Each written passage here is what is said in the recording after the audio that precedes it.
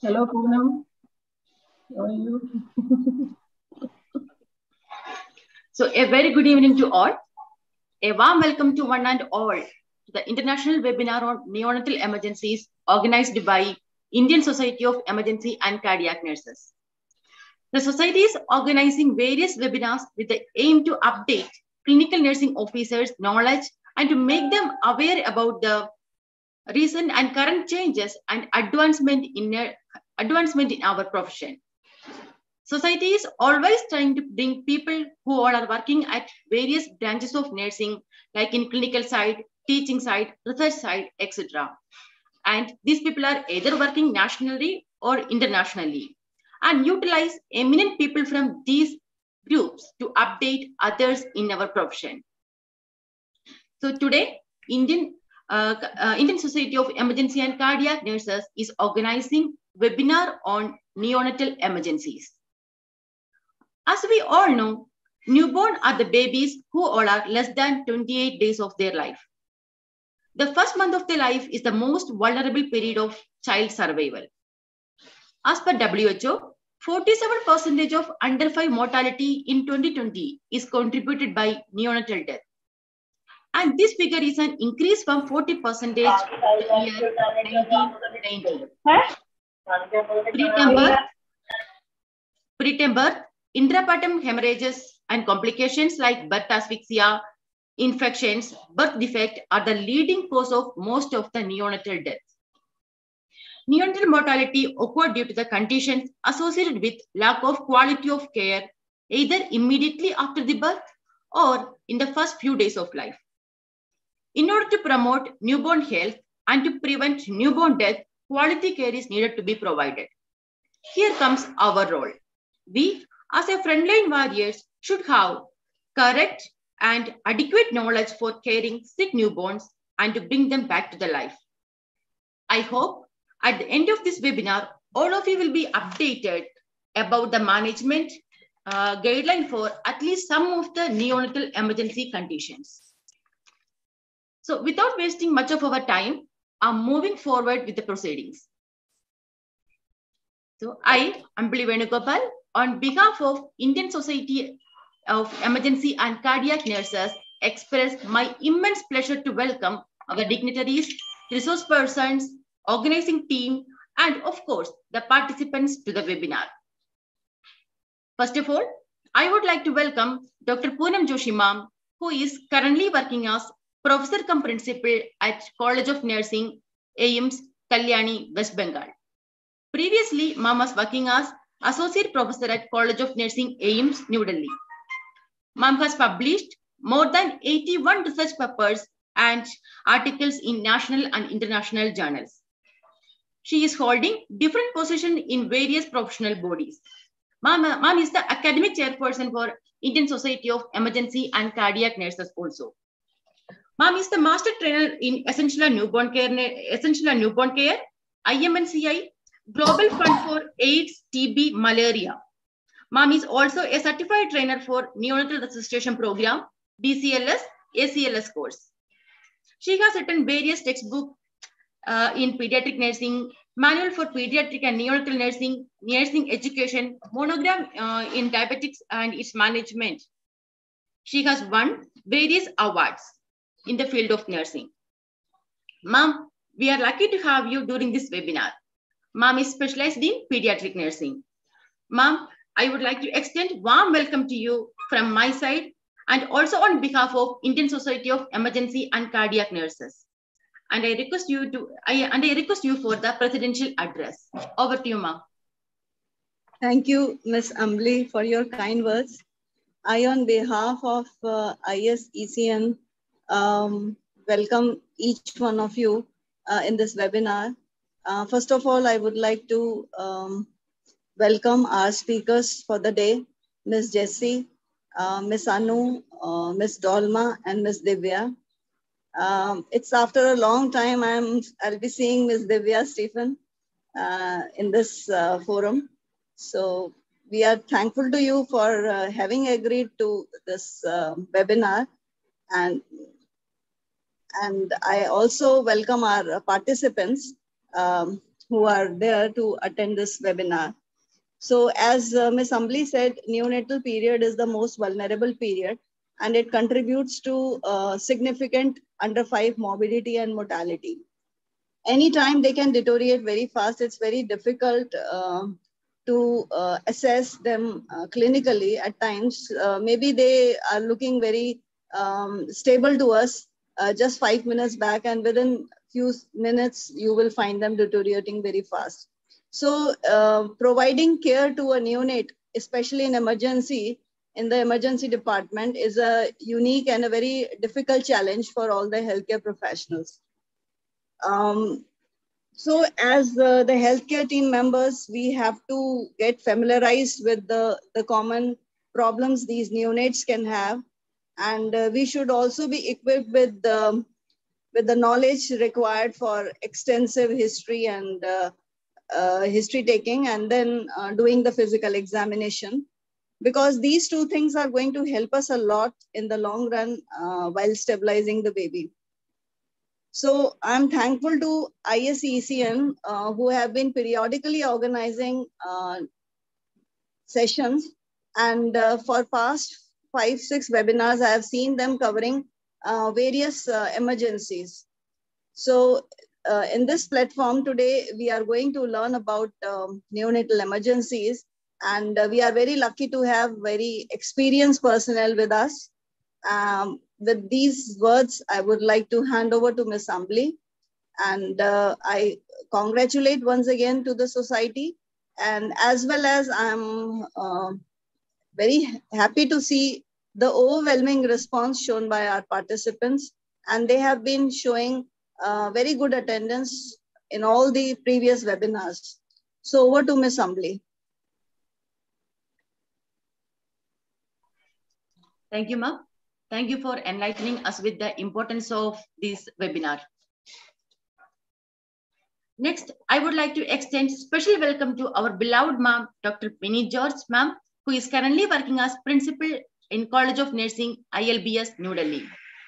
We are so fortunate to have you a person like you with immense knowledge in pediatric nursing for this webinar. Dr. Mini George Ma'am did her undergraduate and post-graduation from RK College of Nursing, MPhil from Manipal College of Nursing, and PhD from University of Kerala. She got Sick Care Baby Unit Certificate from Royal Hospital, Oman, currently holding various positions in different professional bodies and organizations. She has nearly 34 years of experience in nursing profession. She has many research papers published in national and international journals. Despite of her busy schedule, in the ever first attempt we made to conduct her as a chief guest for this webinar, she agreed and offered all the support for conducting this webinar. I, on behalf of Indian Society of Emergency and Cardiac Nurses, welcome you and request you for the inaugural address. Over to you, ma'am. Thank you. Hope I'm audible. Yes, ma'am, you're audible. Good afternoon to one and all here. And uh, at the outset, I would like to thank uh, the organizers, the society, uh, uh Ambli in particular, uh, for having thought of me and having invited me for this particular uh, topic on neonatal emergencies uh, the moment I heard this, I was a bit exuberant about uh, this because uh, uh, it, it's a very passionate area for me. I worked in the neonatal units in, in the Sultanate of Oman for quite many years. And uh, I always have a fond memory of having worked in these, these areas. And you can do a lot for these babies. And another area of mine, which I fondly carry around is uh, adolescent uh, uh, medicine. And uh, so this is one area. So that was one reason why I readily accepted to it because yes, of course, I would like to know. And you have brought in the panel, people working hands-on in the area. And uh, uh, my congratulations goes to all of you out there because we speak many things from the books. You speak from your clinical experience. So uh, having said that, I would like to thank, once again, thank the organizers, uh, Dr. Poonam Joshi, uh, the president of the event, uh, the uh, speakers of today, each and every one of you who are taking different sessions, and of course the participants who have, um, as I hear from you, who are regular on these events and uh, uh, which goes to say we are in safe hands or our children are in safe hands. So uh, with that, I would like to say I'm, I'm really honored and I'm privileged to be with you today. And I won't take much of your time. I would like that uh, uh, PPT uh, first slide to be shared, please. second one. Can we move over to the second one? I just thought today I'll just bring up this particular poem, uh, with I, which I felt was very apt for today. It is the, the, the poem is named Infant Joy, or it is about an infant called Joy, written by William Blake. Yes, the poem is very big, but I've just taken a few lines. Uh, the baby says, I have no name, I'm but two days old. Uh, what shall I call thee, says the mother. The baby says, I'm happy. Joy is my name. So the mother says, sweet joy befall thee. So uh, the next slide, please. So here the poet talks about a baby who is helpless uh, and cannot speak for itself.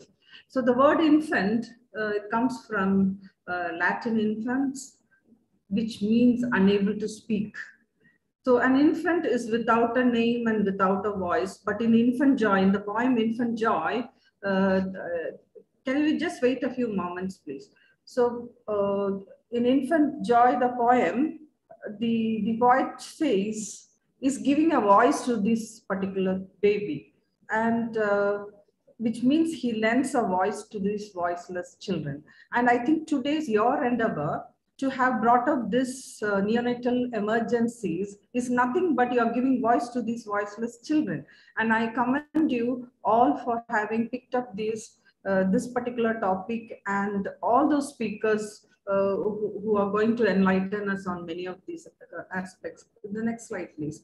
And having said that, one more thing I would like to highlight here is to remember always that the mother knows the best for her baby. So learn to listen. It would be a, a next uh, message that I would like to leave with you. The next slide, please. So, and the third point I would like to leave with you all is uh, remember the golden hour of the neonatal life, which is the first hour of postnatal life for both maybe preterm and term babies. And as Ambli aptly said initially, that uh, there are a lot of evidence-based interventions and that needs to be applied in that first 60 minutes of postnatal life of these babies. So having said that, the next slide. So the next slide, please. Uh, so many studies have uh, evaluated this concept of golden hour and has shown remarked reduction, especially in the preterm neonates, in terms of their hypothermia, hypoglycemia, interventricular hemorrhage, uh, bronchopulmonary uh, dysplasia, and uh, retinopathy, uh, prematurity. Uh, so what I uh, want to highlight here is that golden hour, though some of our topics may not be the initial one hour, but still I thought that's something very relevant for today's uh, this. And uh, the next slide, please. So uh, I will like to leave you with some of these components. It starts from the antenatal period to the team knowing what to do for these babies, to the delayed cord, cord clamping, prevention of hypothermia, giving a respiratory support, cardiovascular support, prevention of hypoglycemia, uh, preventing early onset uh, sepsis. I think somebody is dealing on that today. Initiation of breastfeeding, prevention of infection, and doing a thorough newborn assessment, the laboratory investigations, monitoring and recording and communication with the family, which are some of the components that the golden hour should take care of. Uh, having said that, uh, so these are the key take home points I would like to tell you. Uh, to know we are going to support the, we are going to be the voice of these voiceless. To know that the parents uh, opinions in children are important and to remember that it's a golden hour which is important. So I, I, just would leave you with this image of a baby holding on to your hands as if to say, don't go, be my voice. And with that, I would like to uh, conclude and say uh, that uh, this program or this particular event is being inaugurated and I leave it to uh, these speakers who I would I know would definitely enlighten us and I'm waiting to hear you all. Thank you so much for having invited me and all the best for each and every one of you. You're all my friends in pediatrics. So welcome. Thank you.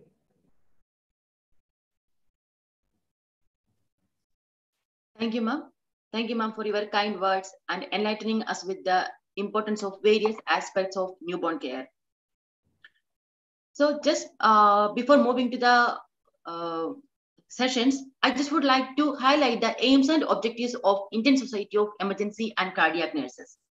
This society is meant for organizing seminars and training sessions with special emphasis on skill-based workshop, health-related panel discussion, and conferences, primarily for nurses, other healthcare providers, and to the community. The main objective of our society includes refinement of nurses and nursing profession with autonomy, independence, and decision-making skill. Amelioration of professional condition of student nurses, nurses, nursing educator, researchers, and administrators in meeting their dynamic professional demands and challenges. Assistance in generation, communication, and utilization of best and latest scientific evidences for all in nursing profession. Empowerment of community with health promotional attitude, information, and abilities as an independent agency and in collaboration with various agencies accord. So without wasting much of our time, we are moving to the scientific sessions. So for the first session, our first session is on the topic neonatal asphyxia. Ms. Jessie Paul Mum, currently working as Senior Nursing Officer at AIIMS New Delhi, is going to discuss about the topic. She did her BSc from All India Institute of Medical Sciences, New Delhi, MSc from RK College of Nursing. Ma'am has also done Diploma in Hospital Management from NIHFW, New Delhi. She did, and she is an NNF certified national trainer for neonatal resuscitation program. She is one of the national faculty for on-top course on essential newborn care for nurses.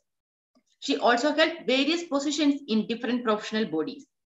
She is the recipient of Best uh, Research Nurse Award of AIIMSonians in the year 2017.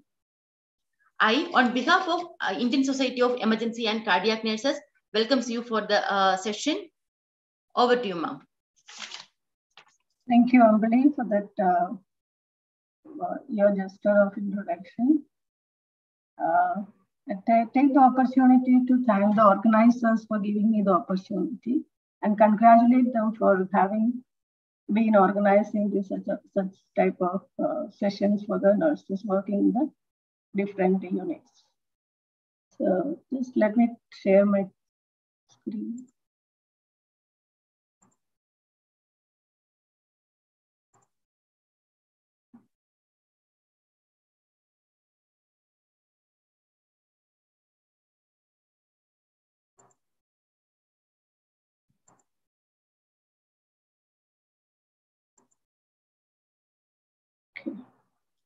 So the topic for given me is neonatal asphyxia or asphyxia neonatal.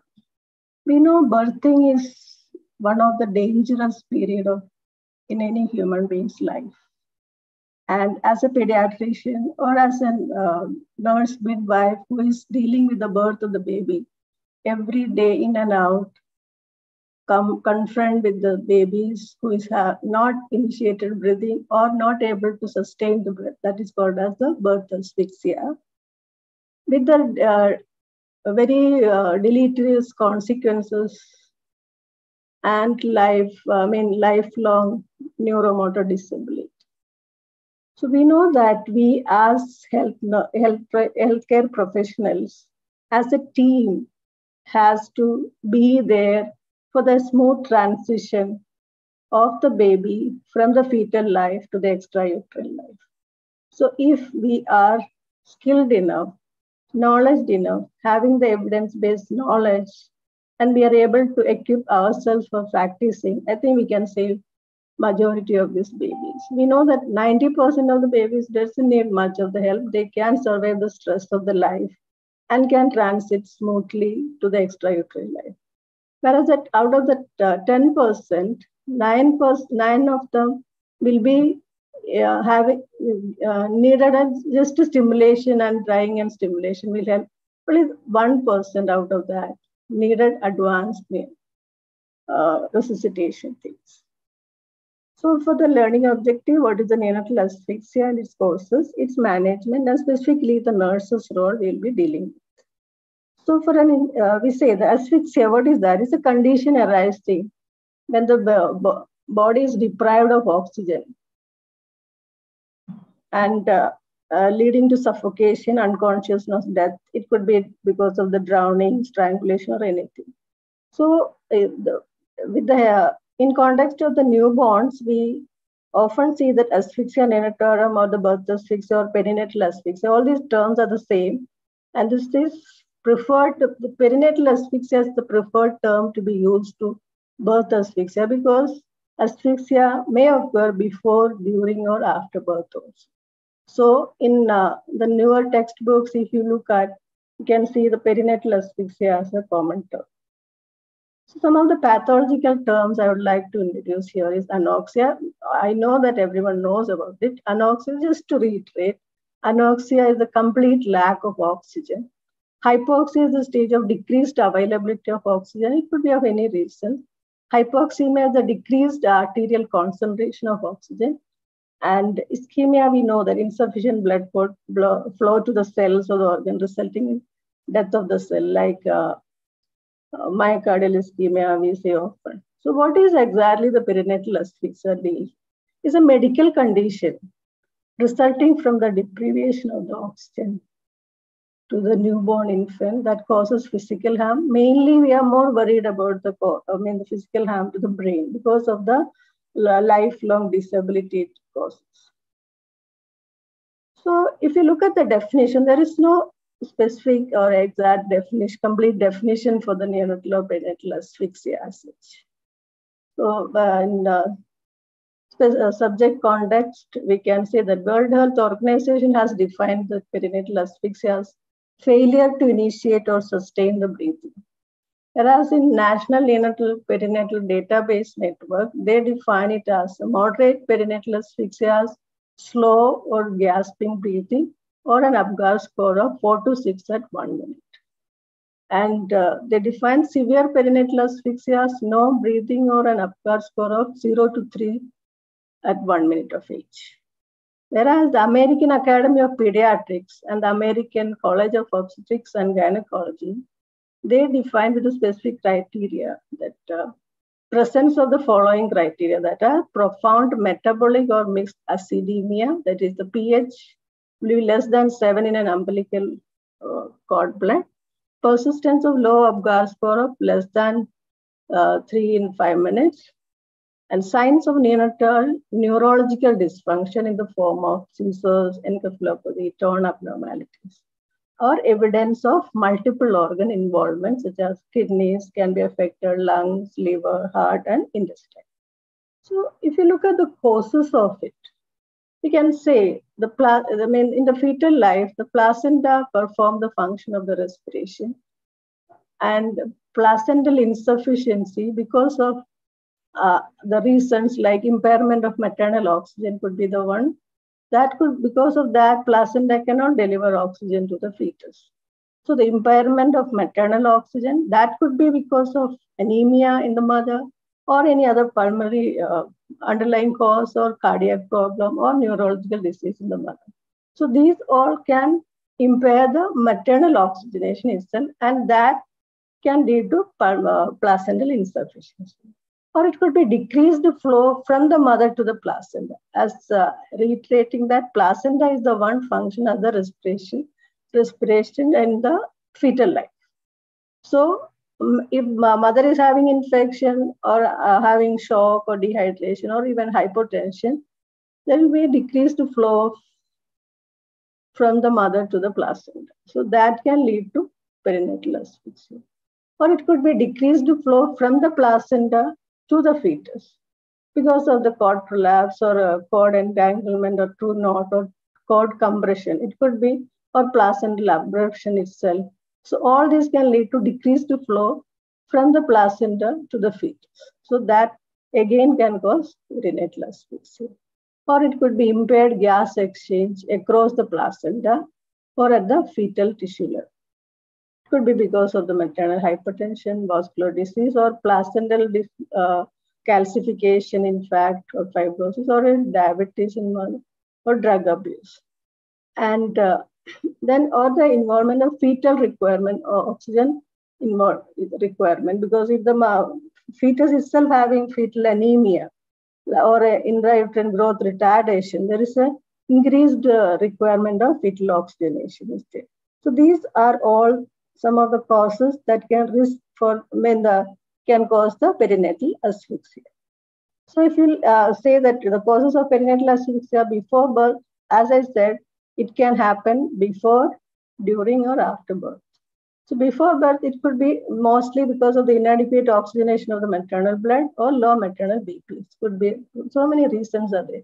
Hyperventilation during the anesthesia, cyanotic heart disease in the mother, or the respiratory failure, acute blood loss, spinal anesthesia itself can cause, or great vessel compression by the gravid uterus when the mother is positioned in a supine position, or uterine tetany because of the ox oxytocin induced one, or premature separation of the placenta. So all these can cause perinatal because it can uh, hamper with the oxygenation of the fetus or it, at the birth it could be because of the uh, fetal involvement like fetal cyanotic heart disease or uh, congenital diaphragmatic hernia or severe pulmonary distress the uh, baby is having preterm or postterm baby or severe anemia or a shock because of any massive blood loss of the uh, in utero. All this can lead to perinatal asphyxia.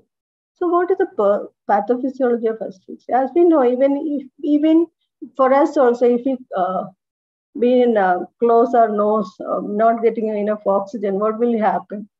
For a brief period, we'll have fast breath. The same way, when an infant is deprived of oxygen because of the placental insufficiency or any other other uh, causes, initial brief period of fast breathing can occur. So if the same status uh, continues, what happens? The respiratory movement becomes shallow heart rate start begin to fall and muscle tone gradually diminishes and baby uh, the is going into apnea known as primary apnea.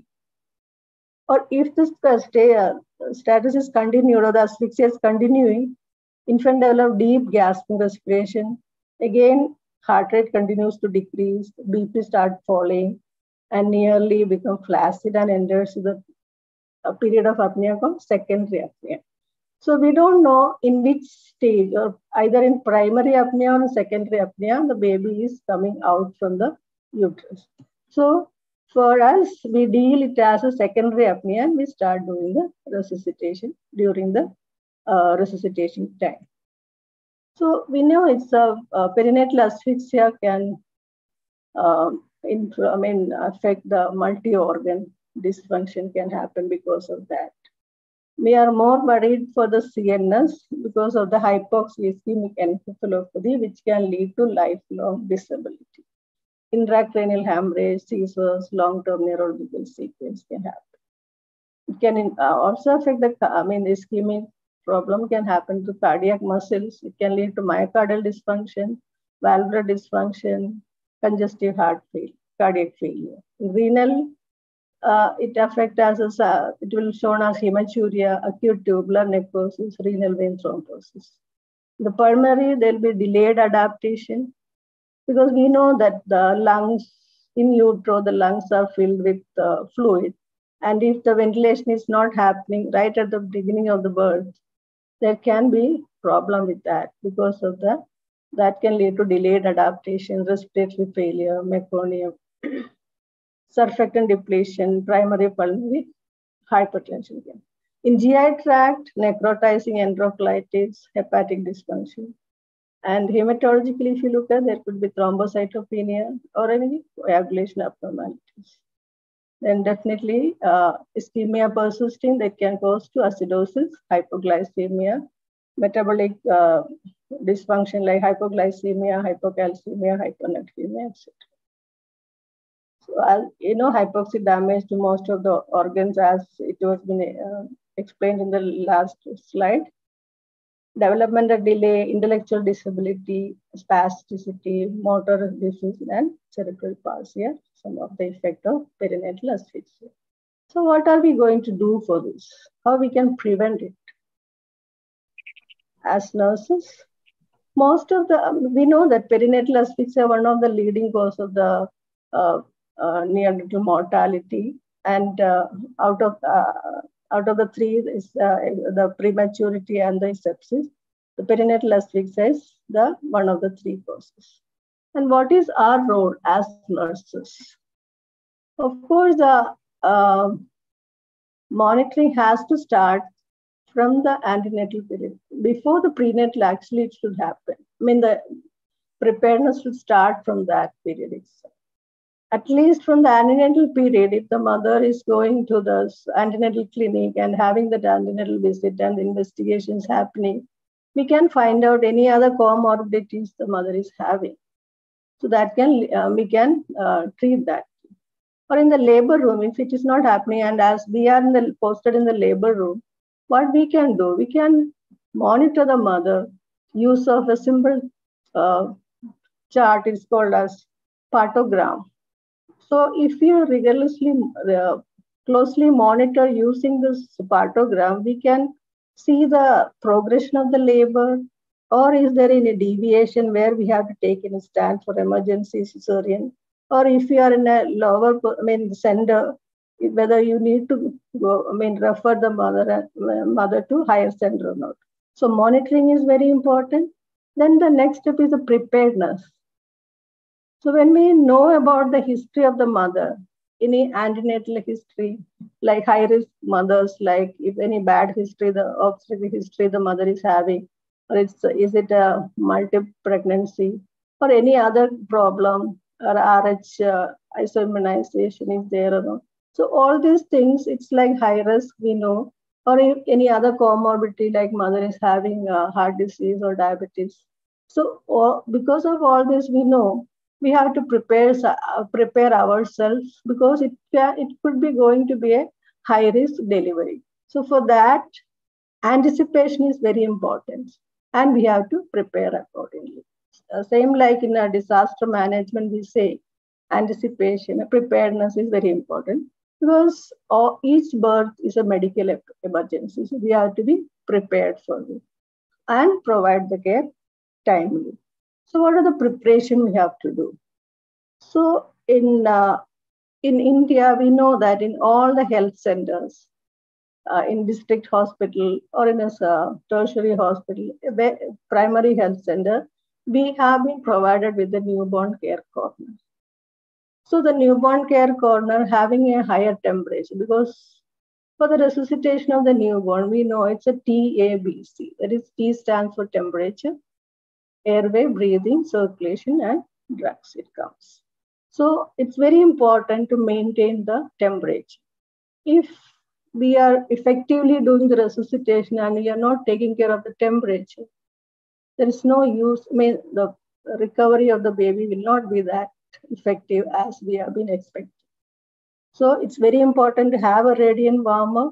Then you should have uh, adequate equipments like for the resuscitation, we need ambu bag, with a face mask of different sizes and uh, suction machine. If you don't have a suction machine or if you are in a where um, area where you don't have electricity, at least you should have a mucus extractor with you.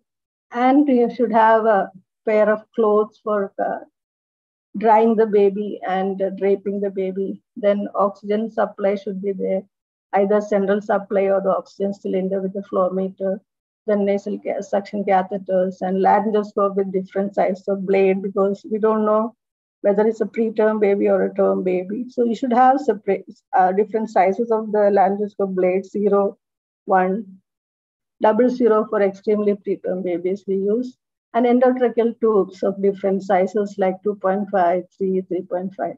Because we know that difference. If a less than one kilo baby, we use 2.5 ID mm uh, size of the ET tube. And for 1 to 2 kg, we use 3 mm ET tube, ET, uh, 3 mm size ET tube. And for uh, 2 to 3, 3.5 and more. More than 3, we use 4 size. Like that it goes. So all these things we have to have. It's not that only we are keeping it. We have to check this functionality also. That is very important. So for before each delivery, you should see that all the equipments are functioning properly and you have everything in your hand. And weighing scale and injection adrenaline also has to be kept. So um, you know that its uh, delivery is going to happen. Before that, you have to uh, put on the radiant warmer so that the temperature can be maintained. So this way, preparation has to happen. Then coming to the resuscitation, the new, new revised uh, in uh, newborn resuscitation guideline. So before that, the preparedness itself, we should have a team meeting for that.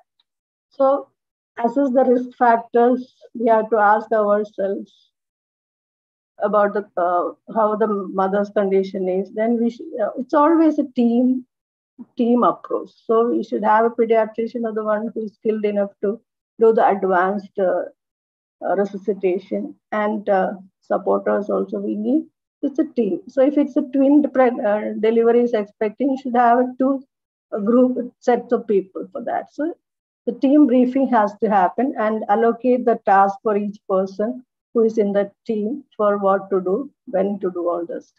And equipment check and counseling on the parents is also important. So this is the preparedness part we do. Then the, as the birth starts, we start the timer we have to ask, is the baby crying or breathing? So if the baby is crying, so what is happening then?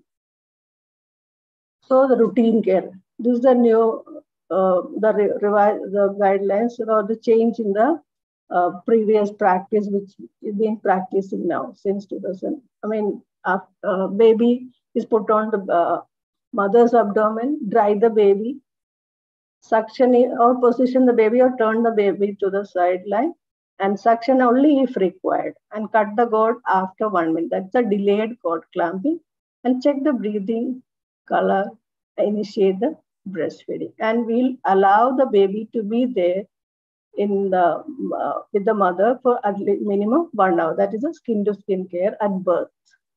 So this is a newer practice which has to be followed. So if the baby is not breathing, then and uh, uh, I must say that this is one situation where we expect some person to cry so that it brings happiness to others, isn't it? It is the irony of the life. Everywhere we try to smile, uh, give smile to others, whereas here in the de- delivery room we expect the person to cry so that we become happy. So if the baby is not breathing or crying, then what has to be done? We have to cut the cord immediately and we have to take the baby under the radiant warmer, which has been put on beforehand. And we have to position to open the airway and suction only if required. And then we dry and stimulate the baby and then reposition the baby. So, uh, if the baby is in the primary apnea, most of the time, that is the initial steps which you do uh, the baby will respond to it. And uh, we have to assess uh, afterwards to see that whether baby is gasping or apnea or heart rate is more than 100 beats per minute. So if it is uh, heart rate is 100 uh, beats per minute or gasping is there, um, nothing is there, I mean the baby started breathing, then we have to assess the breathing pattern. Is it labored breathing or a persistent cyanosis is there? So if there is no persistent cyanosis or not, not having any labored breath, the routine of the baby will be shifted back to mother's abdomen, practice skin to skin care, and then initiate breastfeeding and the, allow the baby to be with the mother. So this is one thing. Or if it's a labored breathing, persisting cyanosis, then we can think of giving supplementary oxygen or even initiating the CPAP. So the other situation is it's a minute within one minute we have to. That's the golden minute we say. So we what did you do? Do the baby was crying, so we are given only the routine care. And uh, baby was not crying, so we cut the cord, placed under warmer to take care of the temperature, airway opened and uh, position and given stimulation, and we assessed it. And uh, the baby was not breathing, and the heart rate, or it could be uh, heart rate is less than 100 per minute, then we have to initiate the positive pressure ventilation using room air. So this is a change which is happening, and we have we have a targeted saturation uh, to be maintained because we don't expect at one minute to have 100% uh, saturation for the baby. So 60 to 65% at one minute of time is acceptable targeted saturation for the baby. So that with golden minute, we have to initiate that positive pressure ventilation or we should establish breathing. So that is the golden minute we say.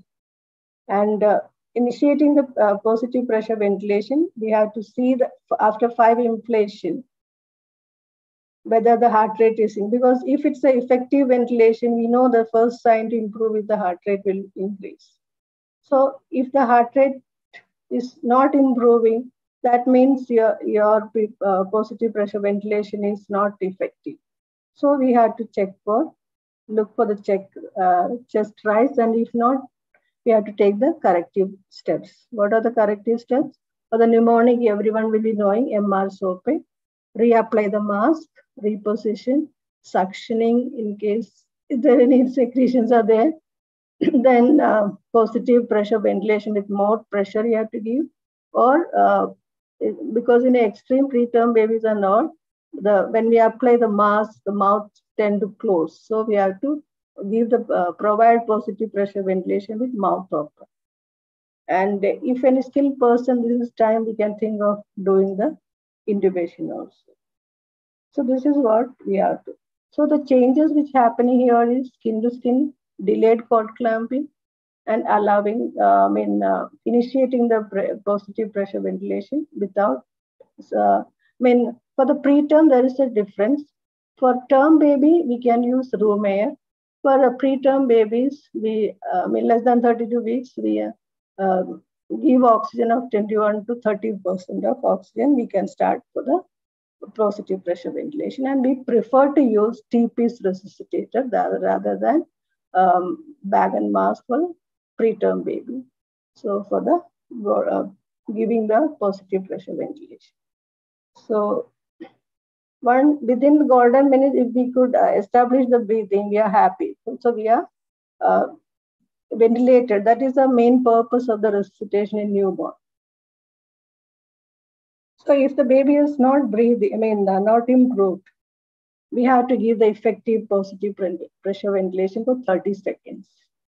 Each after each 30 seconds, we have to assess, isn't it?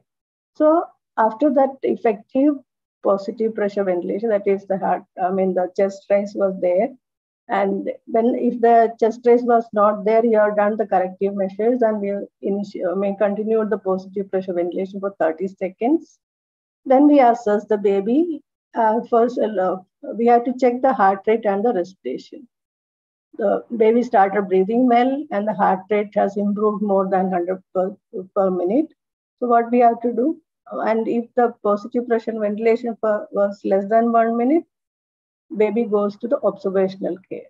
Place the baby on the mother's chest, cover the baby and mother together, monitor breathing, heart rate, check the temperature and we can initiate the breastfeeding. But we have to be little more cautious than the routine care. We have to observe. Even for uh, routine care babies also, for one hour uh, uh, at an interval of 15 minutes, we have to monitor the baby for the respiration, heart rate, color.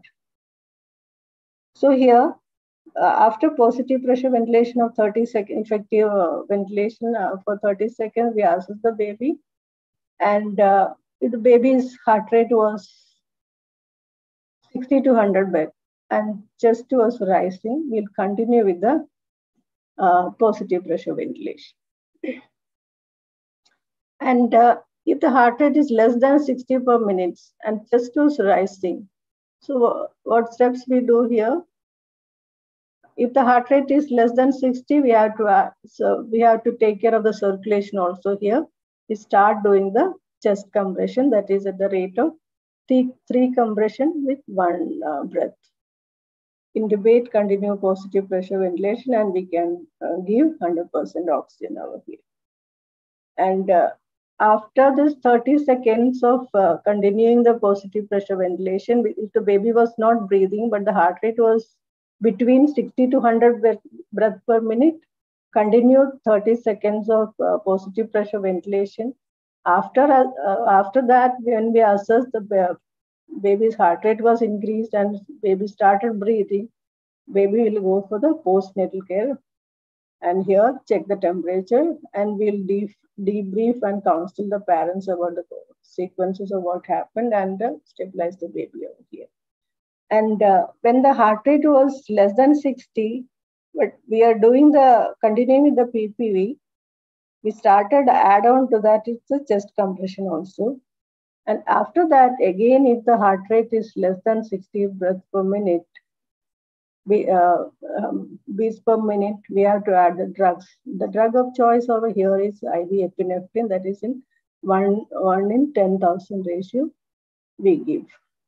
And then we have to think of other conditions also. So here, uh, as uh, this is uh, another change of uh, here we have to do for that, we have to go for the targeted pre-ductal saturation at birth. So we don't have to be so much worried about 100% uh, oxygen saturation for the baby.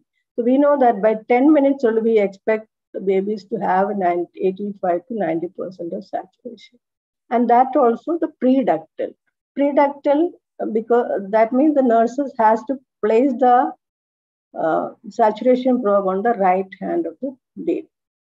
Why that pre-ductal is there? Because we know that it's a uh, uh, the pre-ductal, as the name implies, this is a, uh, the supply to the right heart, uh, hand is from the uh, branch of aorta, which is pre to the ductal, ductal arteriosus.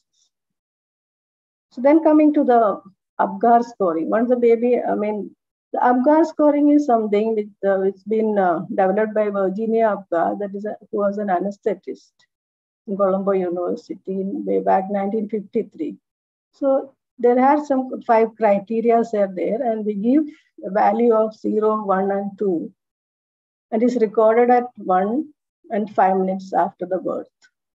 So like if I say that uh, at, uh, at one minute of time, the heart rate was 70 or 80 per minute, and there was no activity or no reflex re reaction, and the color was blue, and there was some slow gas, slow or gasping breaths are there.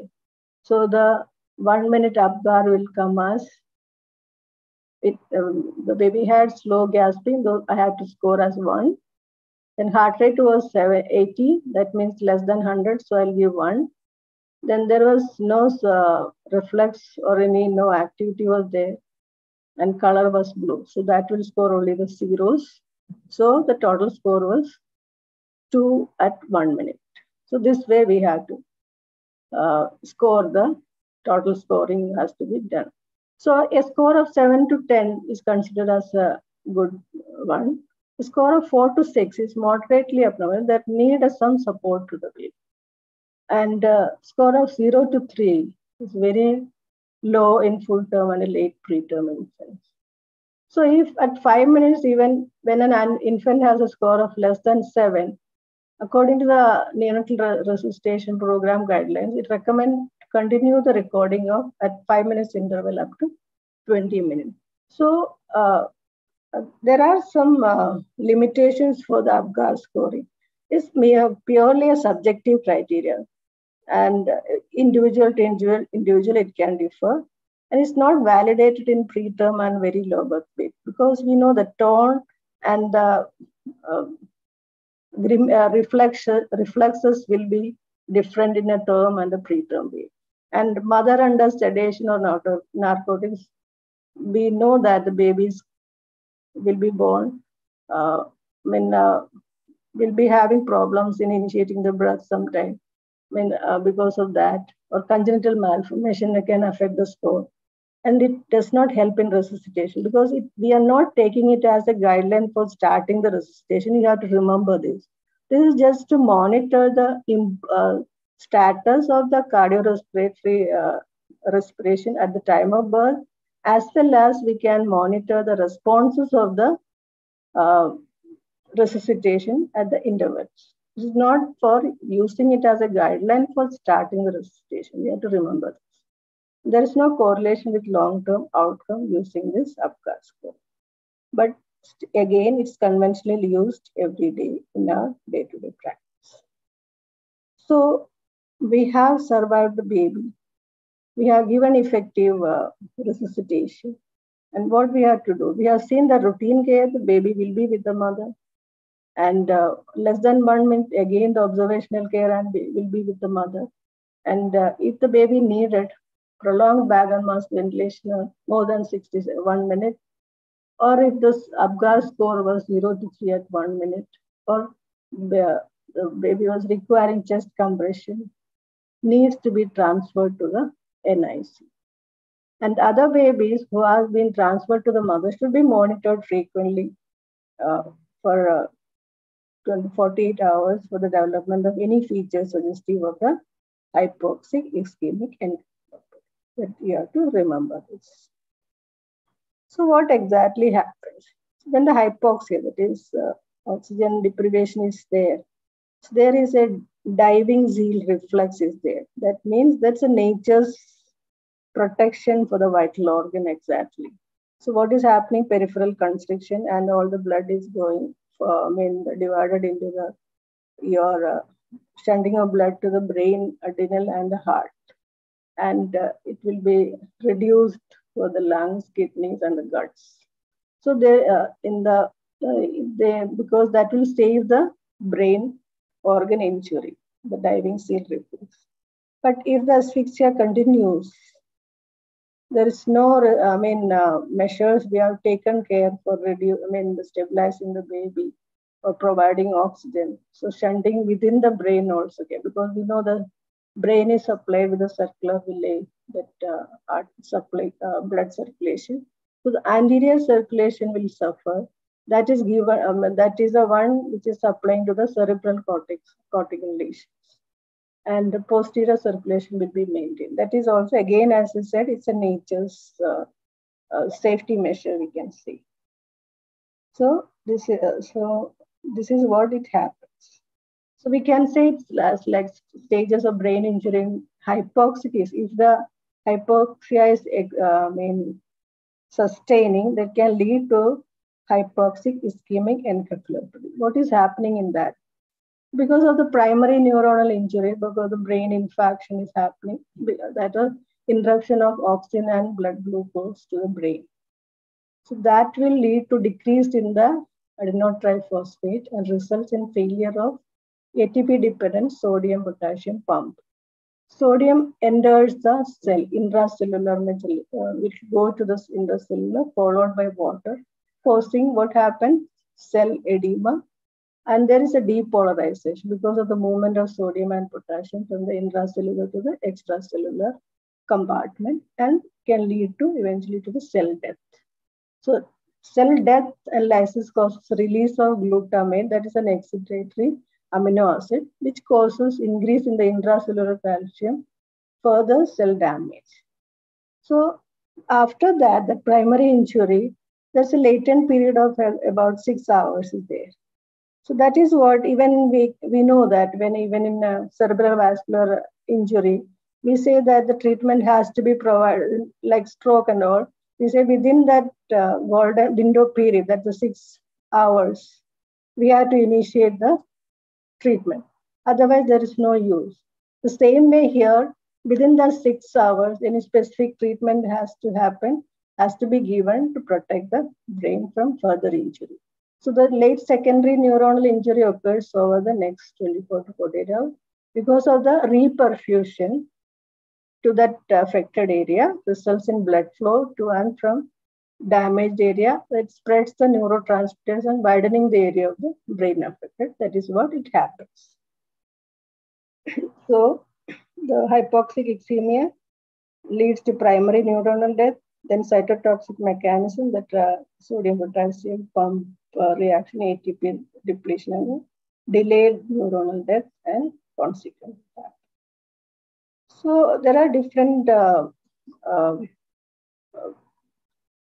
staging, or you can say monitoring. We can uh, use for that Levene's and Thompson's uh, for assessing the condition. The most commonly we use is Arnab's Sarnat scoring is used and stage one, stage two, and stage three. So in a neonate may be hyper alert with prolonged period of wakefulness, mydriasis, and increased deep tendon reflex will be reflected in stage one. In stage two, it could be with the maybe more lethargic, decreased in tone, strong distal and generalized parasympathetic tone, pupillary reaction will be constriction, bradycardia, and increased secretions, and seizures will be happening stage two. Stage three, again, further decreased level of consciousness, flaccid tone, decreased deep tendon reflex, and very abnormal EEG state. There are different stages. So you can say the clinical features will uh, uh, decrease, I mean, uh, the severity will increase as the time passes. Like birth to 12 hours, there will decreased alertness and tone. Convulsions can happen, periodic breathing or respiratory failure can happen because of the multi-organ involvement and intact pupillary and oculomotor responses. 12 to 24 hours, there will be change in alertness level, apneic spells, increase in the convulsions or jitteriness. We have to differentiate between that weakness in the proximal limb. Then so this so close monitoring to, throughout this time should be there. So we know that once we have shifted the baby into the NICU and uh, we have some specific management that is coming up now. In developed country, it's been provided. Whereas in India, we don't have every centers with uh, this therapeutic hypothermia intervention. But in our unit, we have so what we do is there are inclusion criteria for this. So it, the inclusion criteria is that the gestation should be 35 weeks, um, uh, more than 35 weeks of gestation. Or if your gestation is not aware, the baby's weight should be more than 2 kg. And uh, within six hours of since birth, it has to be given. And evidence of birth asphyxia, uh, like uh, the Apgar scoring is uh, persistently low within the five minutes, or you have uh, that uh, metabolic acidosis is there, and your cord blood uh, pH is less than seven, or the basis is, is more than 16 millimole per liter.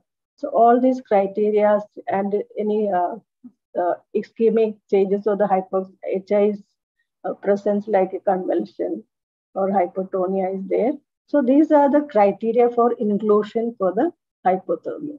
So in that, what is happening is we have a blanket roll used for that. For providing the temperature is will reduce to 30, 33.5 degrees Celsius within the 44 to 6 hours and continued for 72 hours. So we have to uh, do the cooling for 72 hours.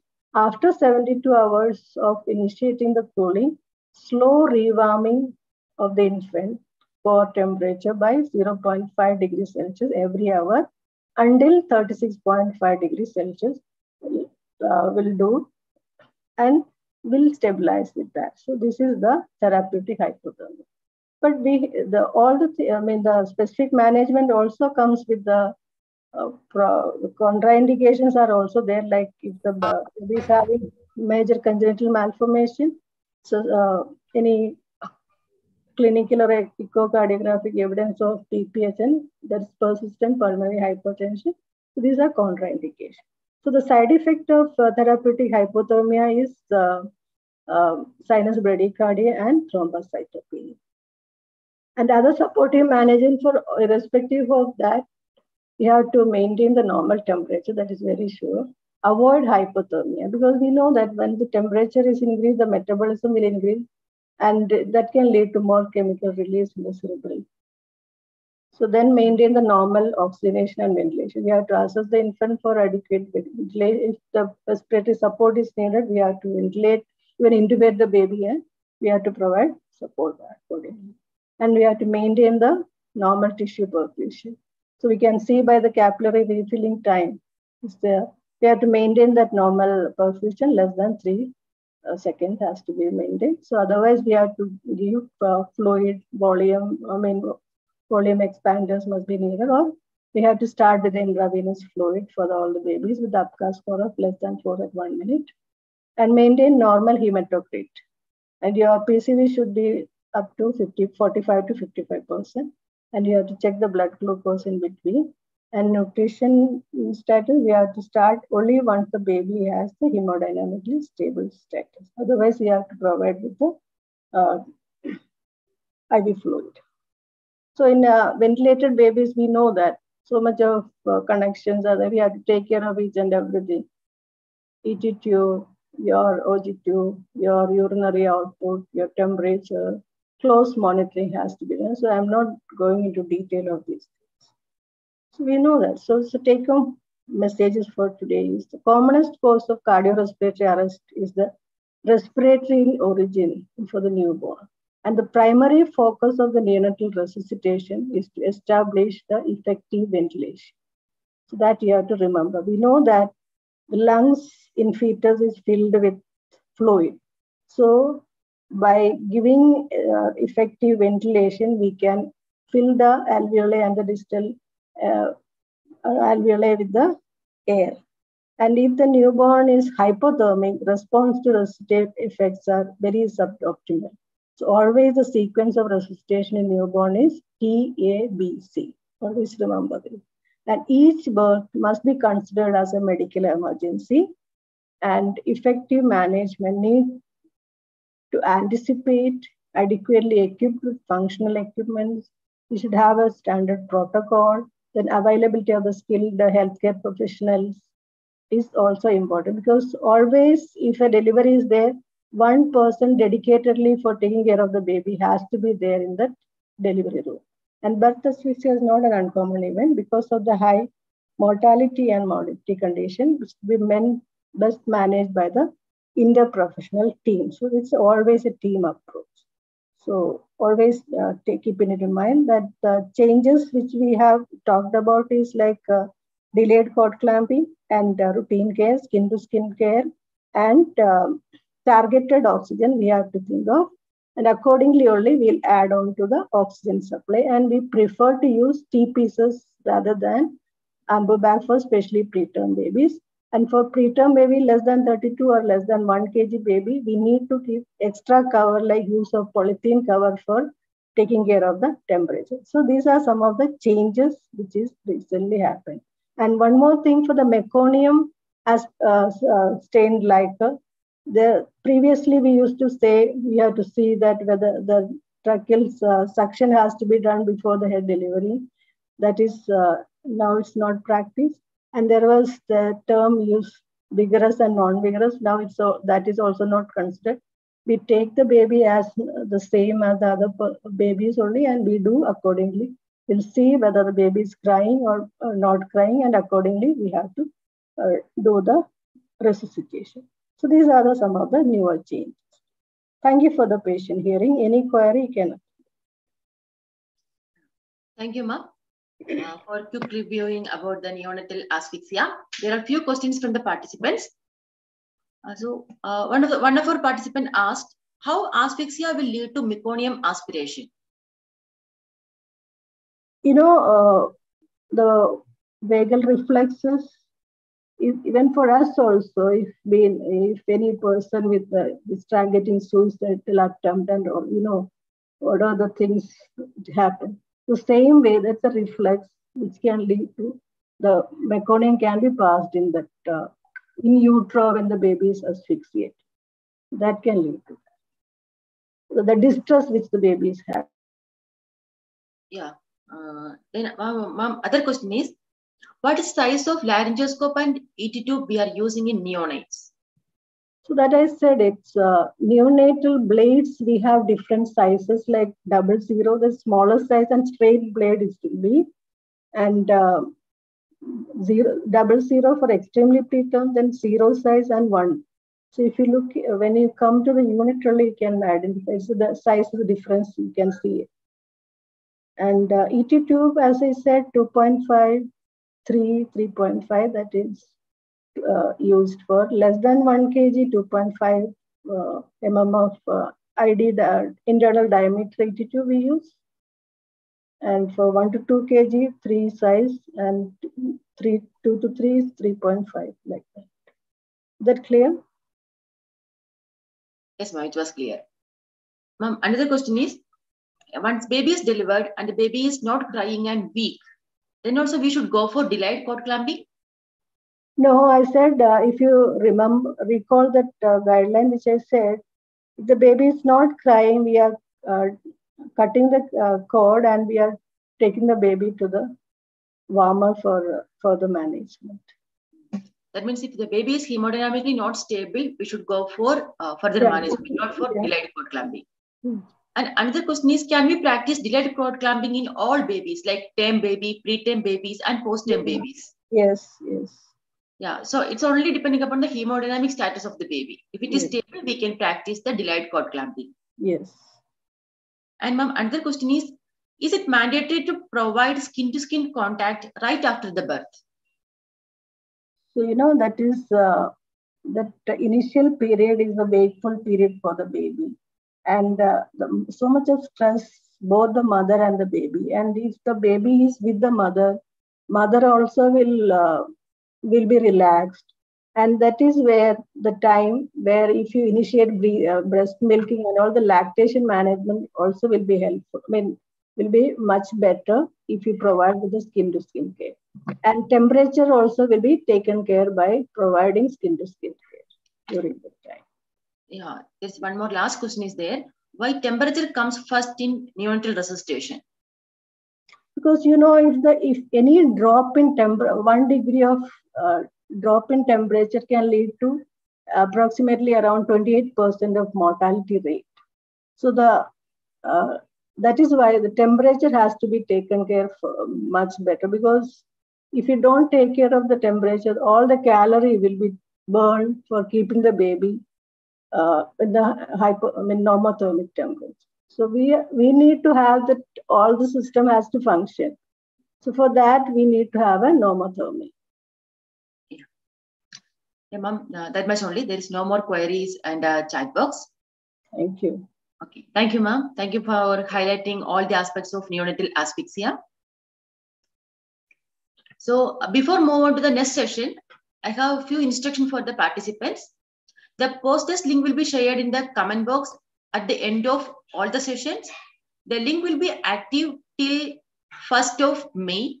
You can attempt and you should score 23 out of 30 to get the certificate. If you didn't score that much score in the first attempt, you can again go through the video and reattempt, uh, reattempt the post-test link. And once you successfully complete the post-test, you will get the certificate within two weeks. And our next webinar is on 24th of April. So I'm moving to the second scientific session. So in second session, we are going to discuss about pathological neonatal jaundice. We have Miss Anuma, who is working as nursing officer at AIIMS New Delhi. She did her master's in pediatric nursing and has more than seven years of experience in the area of nursing.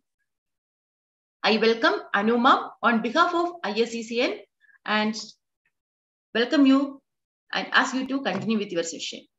Over to you, ma'am. Thank you so much, Amri, uh, for the introduction. Let me share the screen.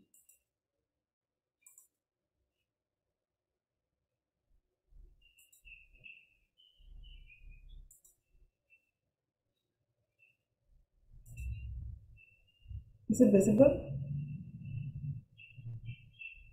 Uh, Ambi, it's can you hear visible. me? You can go for the slideshow mode. It's visible.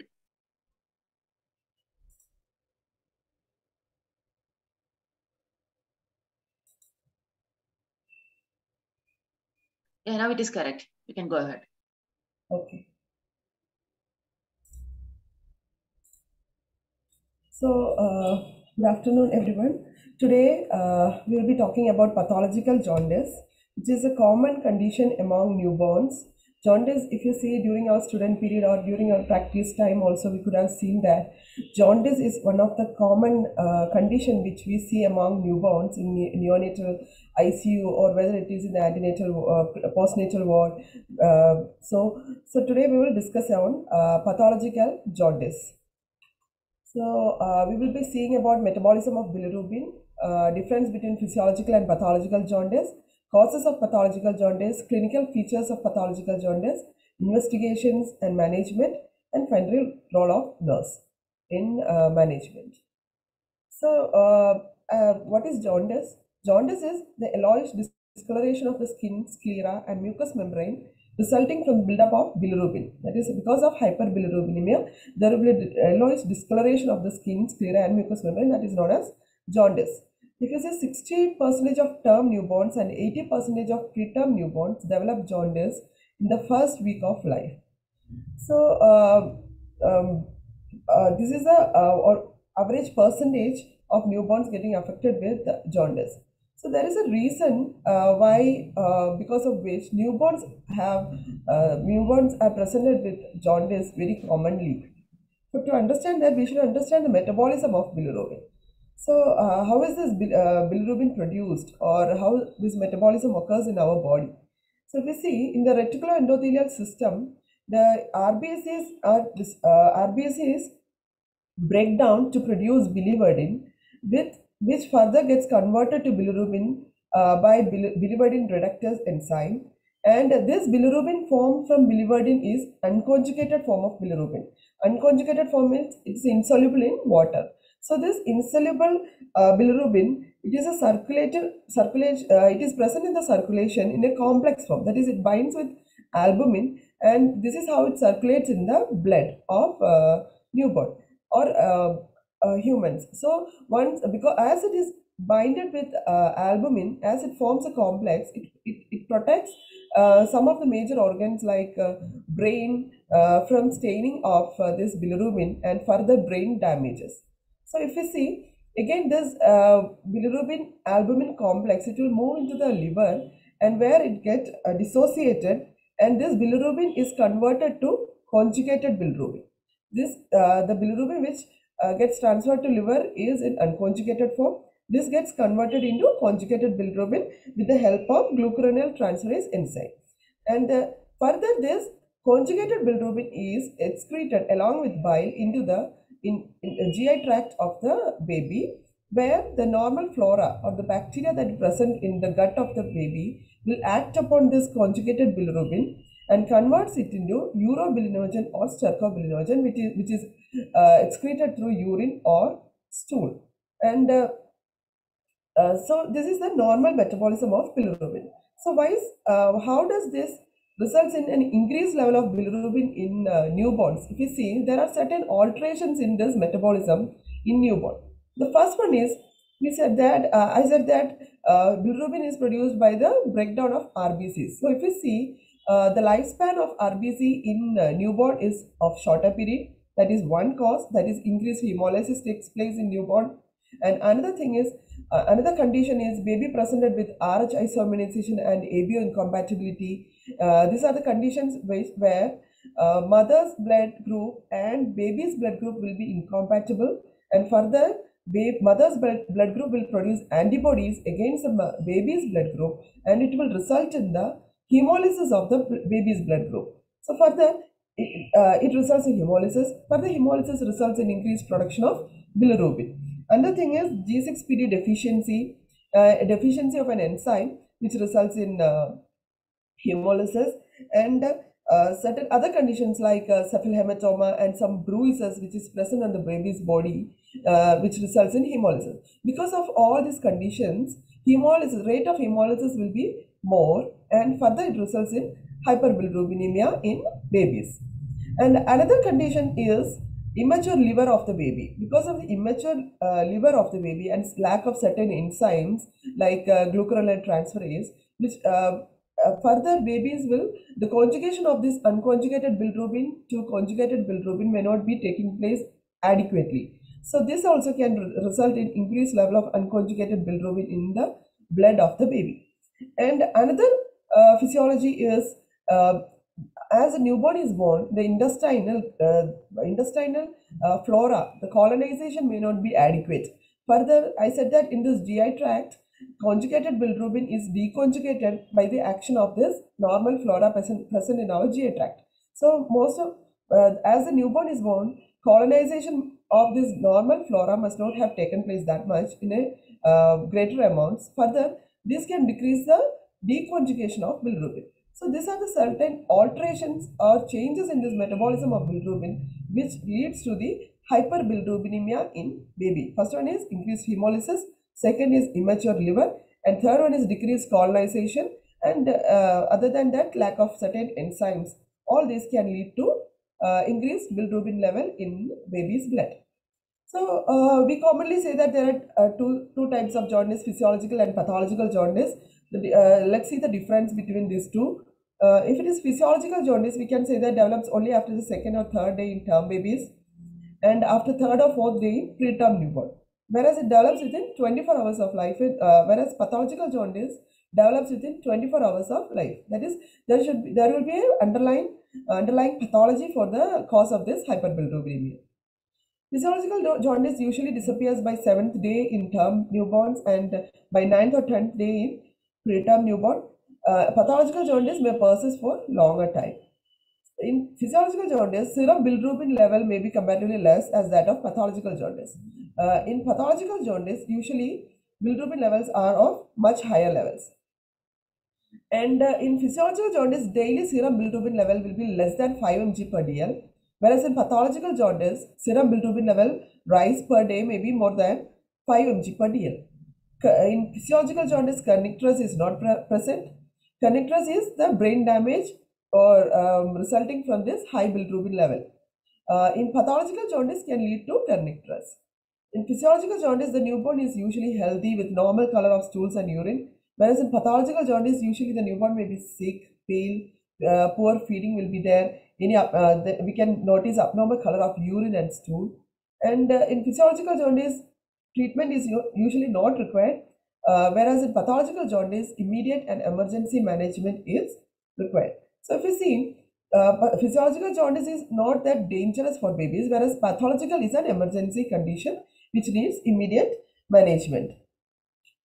So let's see some causes of this pathological jaundice. So we have seen the metabolism of the bilirubin that there is bilirubin production, conjugation, transport and excretion. So any interference in this path can lead to pathological jaundice. First is excessive destruction of RBCs. Certain causes of excessive destruction of RBCs are, I have already said that incompatibilities in the, incompatibilities in the blood group of baby and the mother.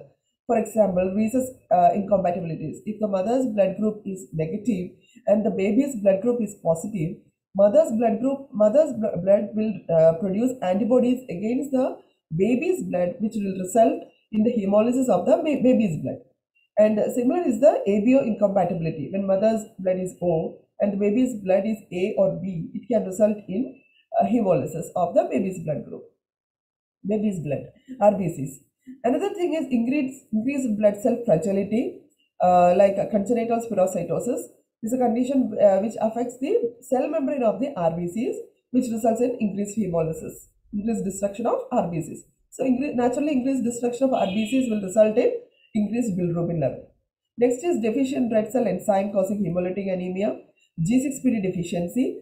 G6PD deficiency is uh, is uh, it is a genetic disorder uh, an error of metabolism where the enzyme uh, deficiency of this G6PD enzyme can result in uh, can result in hemolysis.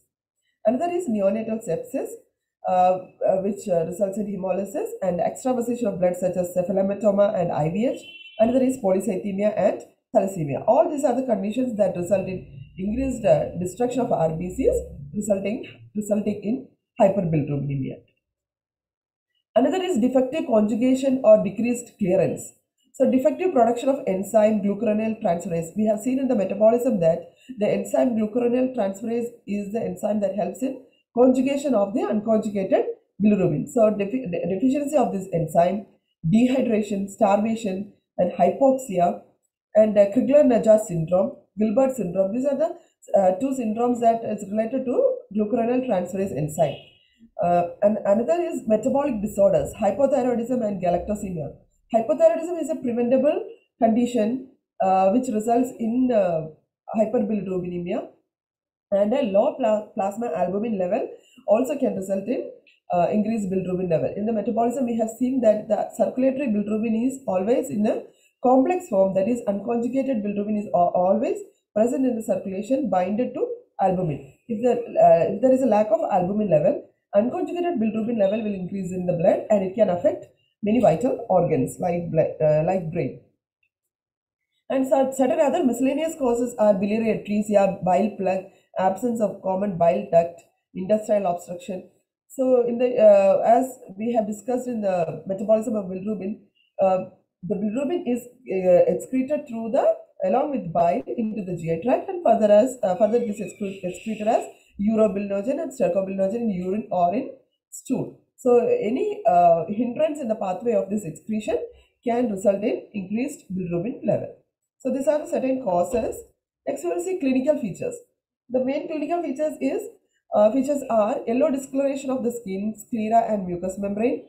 Baby may be irritable. Poor sucking will be there. If you see breast, uh, uh, if the baby is breastfed, the baby may not be uh, sucking the breast uh, adequately. Or if the baby is uh, spoon fed, the also baby may not be able to uh, suck the milk ad- in a proper manner. And baby will be lethargic. Stool may be clay or white colored. Urine staining the clothes or diaper yellow. Rapid rise in bilirubin level. These are the certain clinical features. So how can we assess uh, the yellowing or the jaundice in baby uh, in a physical examination? So the modified Kramer's rule, uh, Kramer's scale can be used for that. If you see in this picture, we can see that different grades are given for different body parts of the baby. If it is for face, we grade it as 1 and the level of bilirubin may be 4 to 6 mg per dl. That is, if the jaundice is visible only in the face, then we can say that the jo- uh, bilirubin level may be 4 to 6 mg per dl. If it is on chest and upper abdomen, we grade it as 2 and the level of bilirubin may be 8 to 10 mg per dl. For lower abdomen and thighs, 12 to 14 mg per dl. Arms and low, uh, lower legs, 15 to 18 mg per dl. And palms and soles, 15 to 20 mg per dl. So from this we can say that if the baby's palms and soles are icteric, uh, then we can say that baby is in a danger danger state. So baby needs immediate management for hyperbilirubinemia. That is, but at the same time, this modified Kramer's rule is not so reliable. We need to confirm it with laboratory test. Uh, the investigations done are biochemical tests like high performance liquid chromatography. This is a gold standard for total uh, serum bilirubin estimation. And another thing is TSB done in labs based on the van den Bergh reaction and uh, the micro method for bilirubin estimation. This is being practiced in our unit based on the uh, spectrophotometry requires micro blood sample useful in neonates and preterm babies uh, because the, usually the blood sample is collected in uh, uh, capillaries that is a minimum amount of blood is needed for this uh, estimation of bilirubin. And another, th- another thing is blood type and Coombs test to be done if mother's blood uh, is Rh negative or O group uh, to rule out uh, Rh incompatibility or ABO incompatibility. Then CBC should be done and smear for hemolysis and RBC morphology. Reticulocyte count and G6PD estimation should be can be done. Repeat TSB 4 to 24 hours based on the gestation or age of the baby. The NICO protocol is like repeat TSB within 4 to 6 hours if initial TSB was in or near exchange cutoff. That is, uh, if the initial TSB level was within the ex, uh, exchange cutoff, that is for double volume exchange, then we have to repeat the TSB within 4 to 6 hours. In RH isoimmunization, repeat TSB at 8 to 12 hour interval for the first 48 hours and 12 to 24 hours later when probability of rise in TSB is not there.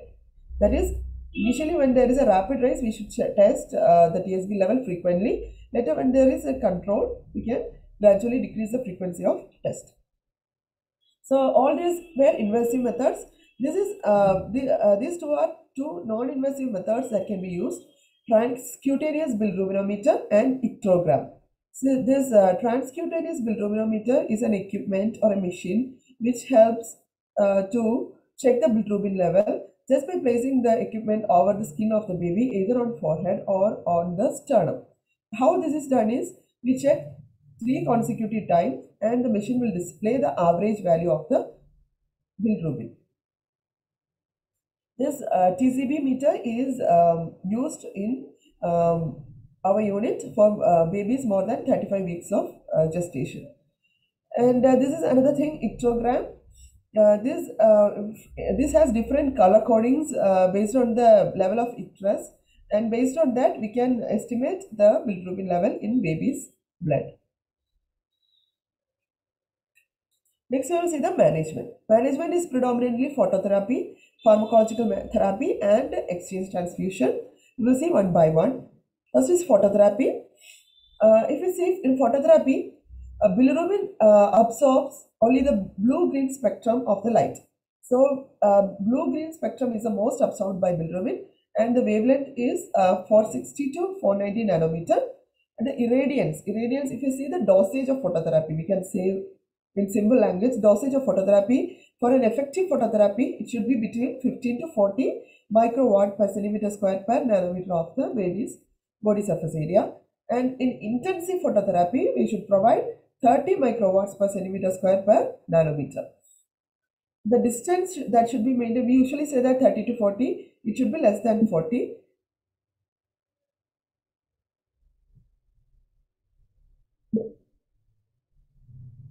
Am I audible? Am I audible? Yes, you are audible. Okay. Um, so the distance um, is uh, minimum of 15 centimeter we can keep in intensive uh, intensive phototherapy. At the same time, we can follow the manufacturer's uh, instructions while keep maintaining the distance between the phototherapy unit and the baby. There are three main principles in uh, phototherapy. First one is photoisomerization, second is structural isomerization, and third is photooxidation. In photoisomerization, the bilirubin is converted into uh, uh, water-soluble isomers. But this is a reversible uh, process.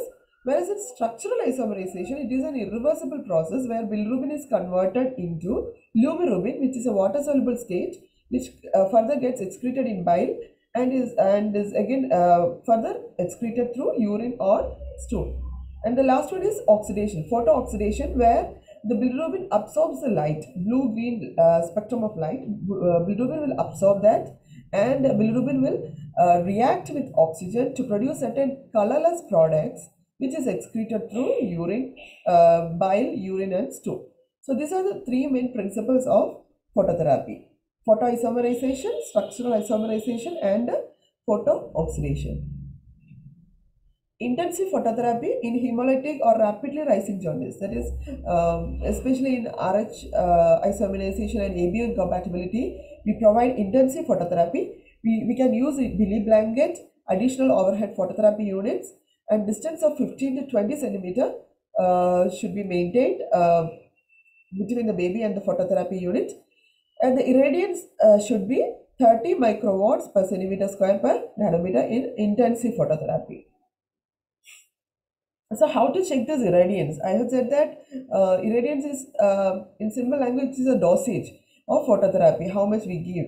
So this is an equipment which helps in testing the um, irradiance of phototherapy. This is known as flux meter or radiometer.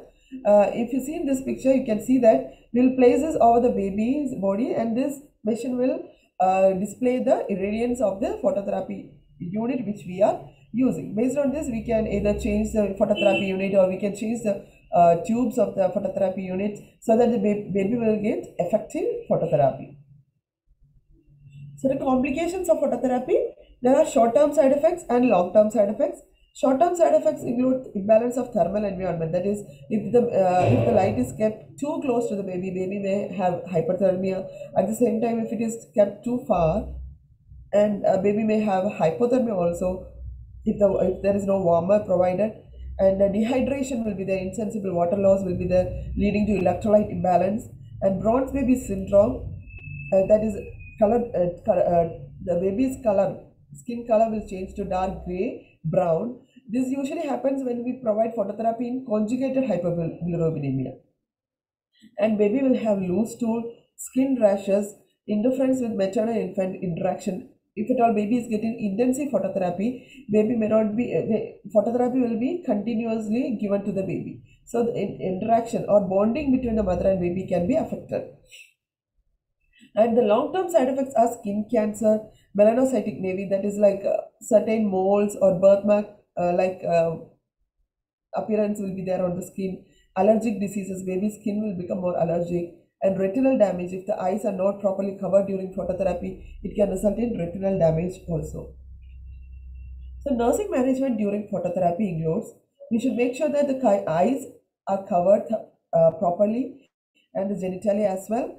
And the diaper should be uh, cut short uh, to a smaller size and the distance uh, as required should be maintained.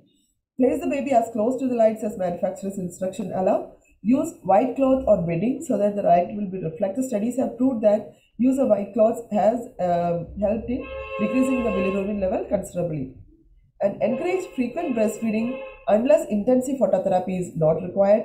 Change the position of the baby every two hours so that all the body surface area is covered. Monitor the temperature fourth hourly and daily weighing should be done to monitor the level of dehydration, insensible water loss will be more. So baby tend to lose weight. Assess the extent of jaundice, skin for any rash, color, color of the skin should be assessed. Do not keep anything on the phototherapy units because it can block the air vents and it can be a fire hazard. Change the tube lights if irradiance is poor, especially when a CFL uh, lamp is used. Every six months, uh, this tube needs to be changed, and the usage time is uh, less than uh, 1200 hours. Actually, it is 12, less than 1200 hours. LED have an advantage of more than 50,000 hours. At the same time, another advantage of LED is baby may not, uh, the CFL lamps have a tendency to get heated uh, uh, very much and the baby may have hyperthermia whereas LED do not uh, have that issue. So these are the certain factors which uh, as nurses we should keep in mind while uh, giving phototherapy to a baby. So this is a guideline for phototherapy in infants more than 35 weeks or uh, uh, this, this chart will uh, show the cutoff values for phototherapy. This is a, a uh, given by uh, AAP and if you see in this, there are three lines in this chart. The horizontal axis gives the life, day of life and hours of the baby, age of the baby. That is, it may be in hours or day. And the vertical axis gives the TSB level, that is the serum bilirubin level. In this, there are three lines are there. The continuous line, it is the infants at higher risk, 35 to 37 weeks. And the uh, next line is infants at medium risk, more than or equal to 38 weeks. Um, and uh, next is uh, dotted lines, infants at lower risk. So the uh, the risk factor mentioned here are baby with isoimmune hemolytic anemia, G6PD deficiency, asphyxia, temperature instability, sepsis, acidosis, or hypoalbuminemia. Babies with any of these conditions will be considered as uh, in a uh, risk level.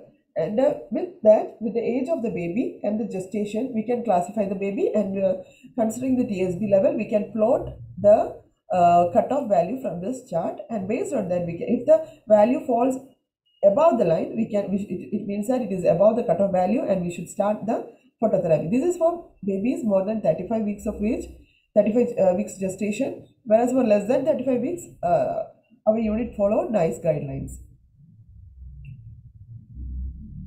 Next is exchange transfusion. Uh, uh, this is uh, exchange transfusion we, we have uh, two types. One is double volume exchange transfusion and another is partial exchange.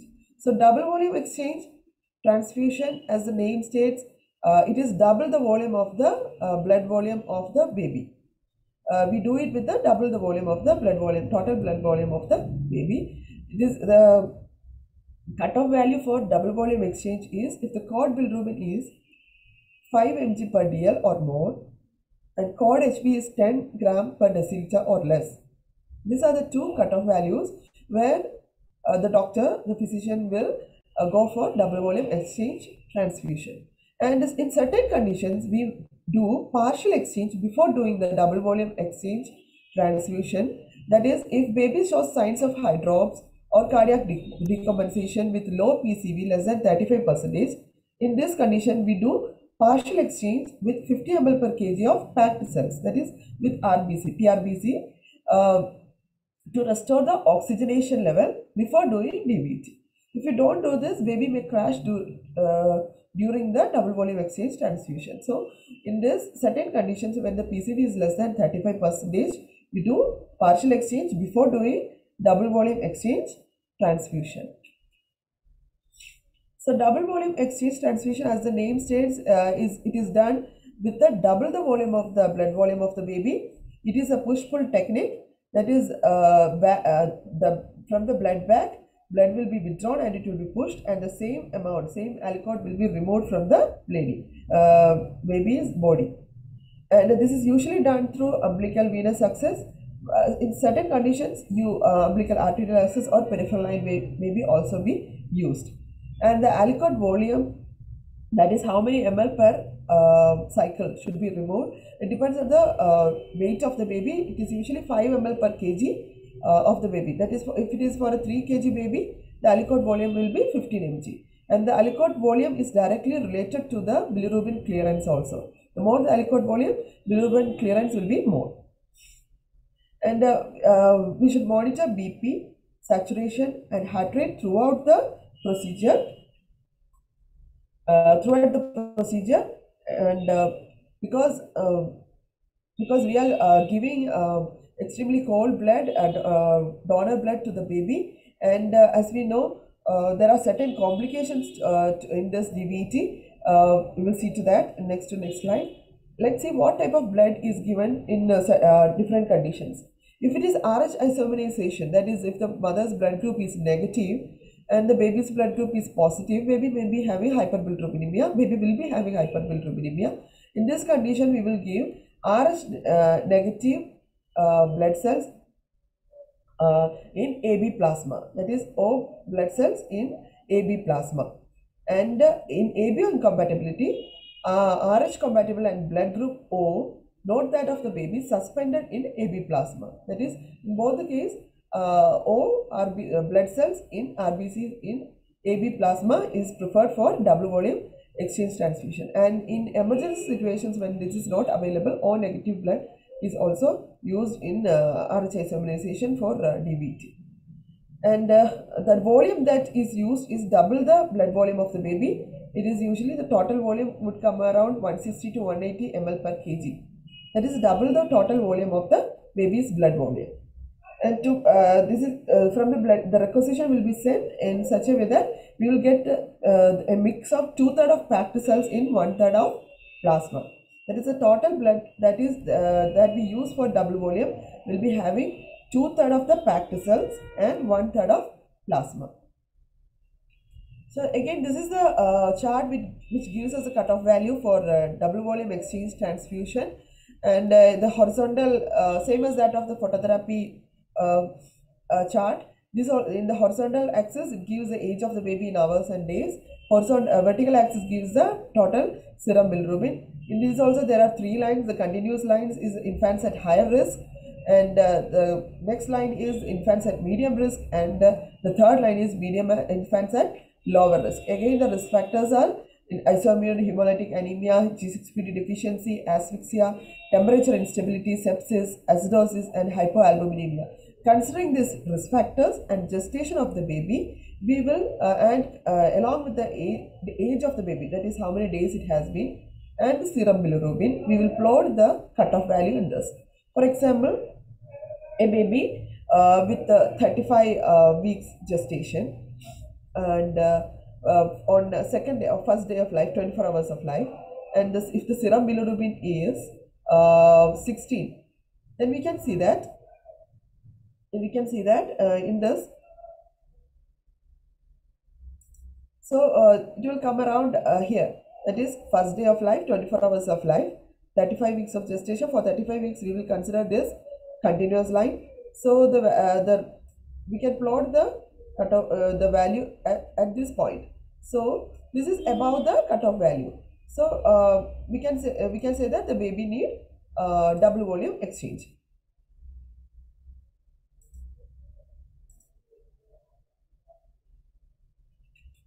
Next are complications of DVT. So there are certain clinical adverse events like a baby may have uh, apnea during the procedure, bradycardia may be there, seizures may uh, occur, hypothermia because we are giving cold um, uh, blood. Um, uh, we are using for uh, double volume exchange. Need or increase in auto requirement if at all the baby is uh, on oxygen support. if you do not do it in a strict aseptic manner, it can lead to sepsis, arrhythmias, and death and we should make sure that as nurses we should make sure that the blood we use for the volume exchange we should uh, we, uh, use a blood warmer uh, could be beneficial for the baby because increased uh, uh, blood if we give it in a higher temperature it can lead to hemolysis. If, we give at a lower temperature it can lead to hypothermia. Again it is a um, danger uh, situation for the baby if we tend push the baby into hypothermia. And another thing is uh, biochemical adverse uh, adverse effects like hypocalcemia. Because of the chelating agents present in the blood that we give uh, it uh, baby uh, may have hypocalcemia. So after um, completing double volume exchange transfusion also we should keep a watch on the baby for hypocalcemia uh, in, for seizure and all. Then next is hyponatremia and hyperkalemia. Of course the RBCs when it is in the blood bag tends to uh, hemolysis will be there. So it can produce much of the potassium and it can further lead, uh, lead to hyperkalemia in babies. So this is one uh, uh one reason during the double volume exchange baby may have even cardiac arrest as well. So uh, we should keep a continuous uh, vigilant monitoring of the vitals of the baby during procedure like bp saturation heart rate should be monitored continuously. And and uh, acidosis uh, can be there because uh, the donor milk which comes in the blood bag will be having a pH of less than 7.2 so that it can push the baby into acidosis and the base excess is uh, more than minus 10 milliequivalent per liter. So these are certain complications of DVT. Next is pharmacologic management. Phenobarbital is a drug of choice. Uh, it improves the hepatic uptake and conjugation and excretion of bilirubin. So this again works in the uh, metabolism of bilirubin and helps in decreasing the bilirubin level in blood. Uh, the prophylactic dosage is 5 mg per kg for 3 to 5 days after birth. And another uh, drug is uh, IVIG, intravenous immunoglobulin. High dose of IVIG 0.5 to 1 gram per kg has shown to reduce need for exchange transfusion in RH and ABO hemolytic diseases.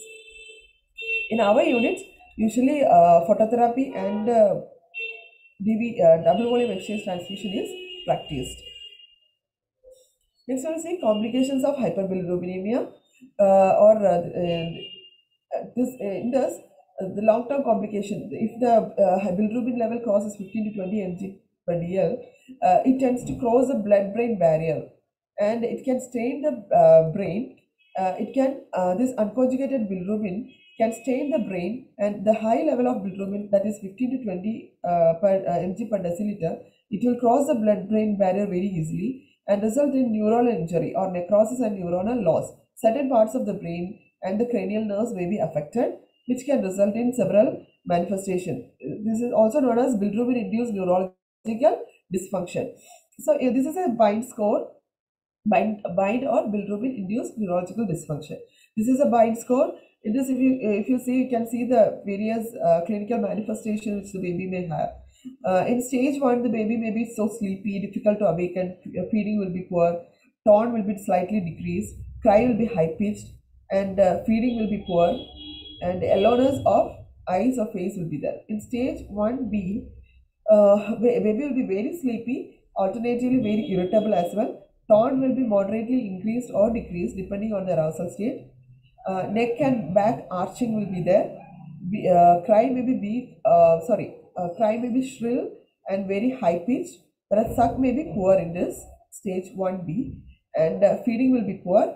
Whereas the stage 2, baby will be in a semi-coma stage, apnea will be there, convulsions will be there, tone will be markedly increased or decreased opisthotonic posturing, that is, back bends and bicycling movements can be seen. Piercing, shrill, inconsolable cry will be there, and suck will be absent, and feeding also will be absent in this uh, stage. And yellowness can be seen abdomen and below. And another uh, complication of hyperbilirubinemia is uh, deafness. And uh, cerebral palsy also can be uh, there. Since it affects the brain it can and uh, certain cranial nerves it can result in deafness and cerebral palsy also. So uh, certain counseling or action what uh, we can do in this uh, hemolytic jaundice ab or rh incompatibility what we can do is uh, if the if you see in this image it is it shows that if the uh, if the first baby is uh, if the mother is rh negative and if the firstborn baby is rh positive the mother's body will produce antibodies against the baby's blood group. And these antibodies will persist in the mother's body. And when the mother get pregnant for the second time and if the ba- second baby is also rh positive these antibodies will try to fight against the second baby and the baby maybe will be presented with hydrops fetalis and severe uh, complications. So uh, so to prevent this, uh, we one uh, prophylactic treatment that we give is anti prophylaxis injection uh, that we give within 72 hours of delivery, or it can be uh, given during pregnancy also uh, when we uh, suspect mixing of blood. This uh, the, the parents, uh, the mother with Rh negative blood group should be uh, counseled or educated about this. And finally, role of nurse. In phototherapy, we have already discussed what are the role of nurse in during phototherapy. That is, uh, we should make sure that the eyes of the baby is properly covered, genitals should be covered, and diaper should be cut short, and the distance should be maintained uh, as uh, required. Irradiance should be monitored, and uh, baby's skin uh, should be monitored feeding can be continued unless it is intensive phototherapy. And uh, uh, if, if the radiance is uh, not up to the mark we should take necessary action to change the uh, lights of the uh, phototherapy unit. And whereas in double volume exchange transfusion we should be very vigilant during the procedure like uh, uh, while pre- uh, preparing the while procuring the equipments right right from the blood warmer use of adequate disposables st- sterile uh, equipment should be used strict asepsis should be maintained throughout the procedure and effective communication should be there because um, that uh, while during the procedure how many cycles are being uh, done uh, whether it was a push or a pull there is a chart that we maintain during the double volume exchange transfusion. The physician will be doing the exchange transfusion and the nurse who is taking care of the baby will be standby and she'll be uh, monitoring each and every in and out of the push and pull that we do for the baby. Um, and uh, during the procedure we should keep a close monitoring of the bp that is we set the monitor like uh, in every 5 to 10 cycles the bp will be uh, nibp will be monitored. If there is no uh, uh, invasive arterial um, bp monitoring is not there. And uh, saturation should be monitored heart rate should be monitored and if at all the baby has any apnea during the procedure immediately uh, the procedure should be withheld. And once the baby is stabilized the procedure can be continued. And uh, and post procedure also we should keep a watch over the uh, baby as the baby uh, can have hypocalcemia or hyperkalemia and further complications may be there. So close uh, monitoring of the baby should be there. And uh, for counseling and communication we should maintain a therapeutic and professional communication uh, with the parents. Uh, we should make uh, we should educate them that yellowish discoloration of the palms and soles of the baby is a danger sign. And the, they should seek uh, medical aid immediately. Sunlight exposure is not effective. Treatment for uh, jaundice you should uh, educate the parents. And after the babies who require dbt will require a hearing test in future.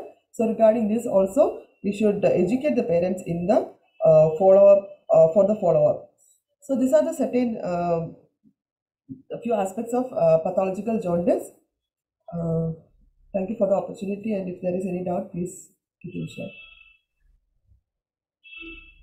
Yeah, thank you, Anima, for the quick review about the neonatal jaundice and um, bilirubin metabolism, the difference between physiological and pathological jaundice. There are few questions from the participants. I will read out one by one for you. There's a question from Phila Do- Dolin. Why preterm babies are most commonly affected with jaundice? Uh, preterm babies are predominantly affected, or preterm babies tend to have more jaundice than term babies because the uh, first and foremost the thing is the liver is immature as compared to the term babies in preterm babies, and the gut will be more sterile. I have discussed that, and the RBC destruction will be in a, uh, the rate of RBC destruction also will be more in preterm as compared to uh, term babies. So the immaturity of the system and the more RBC destruction is the most common cause for uh, uh, this bilirubin, uh, sorry, jaundice among preterm babies. Then another question is, why babies born to O positive mother tend to have more jaundice than other babies? It is not like that. if the mother's blood group is O positive and if the baby's blood group is A or B, the blood groups are incompatible. So the uh, mother's blood group will try to uh, produce uh, will produce antibodies against the baby's blood group. That is naturally if we uh, when we transfuse incompatible blood in adults also this is what happens. Hemolysis will occur. Same that happens in babies also. When the mother's blood is O and the baby's blood is A or B, hemolysis will occur in baby's blood group because antibodies will uh, antibodies produced in mother's blood group will fight against the baby's blood group. Uh, the main thing is that the, if the mother is O in group, the mother blood has both antibodies. Anti-A and anti-B antibodies are naturally in the blood.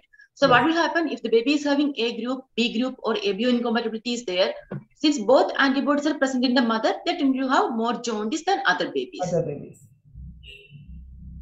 Mm, then another question from Bian Danis. Is pathological jaundice is related to G6PD deficiency? Yes, uh, in because I have said that pathological jaundice means jaundice resulting from any, from any underlying pathology. So G6 in G6PD deficiency, it is more prevalent in northern parts of India. It is a deficiency of this enzyme, which results in uh, hemolysis of the um, RBCs. That is, uh, more blood cell breakdown will be there, which further results in hyperbilirubinemia. That is related. Uh, that means uh, all pathological jaundice are not related to G6PD deficiency.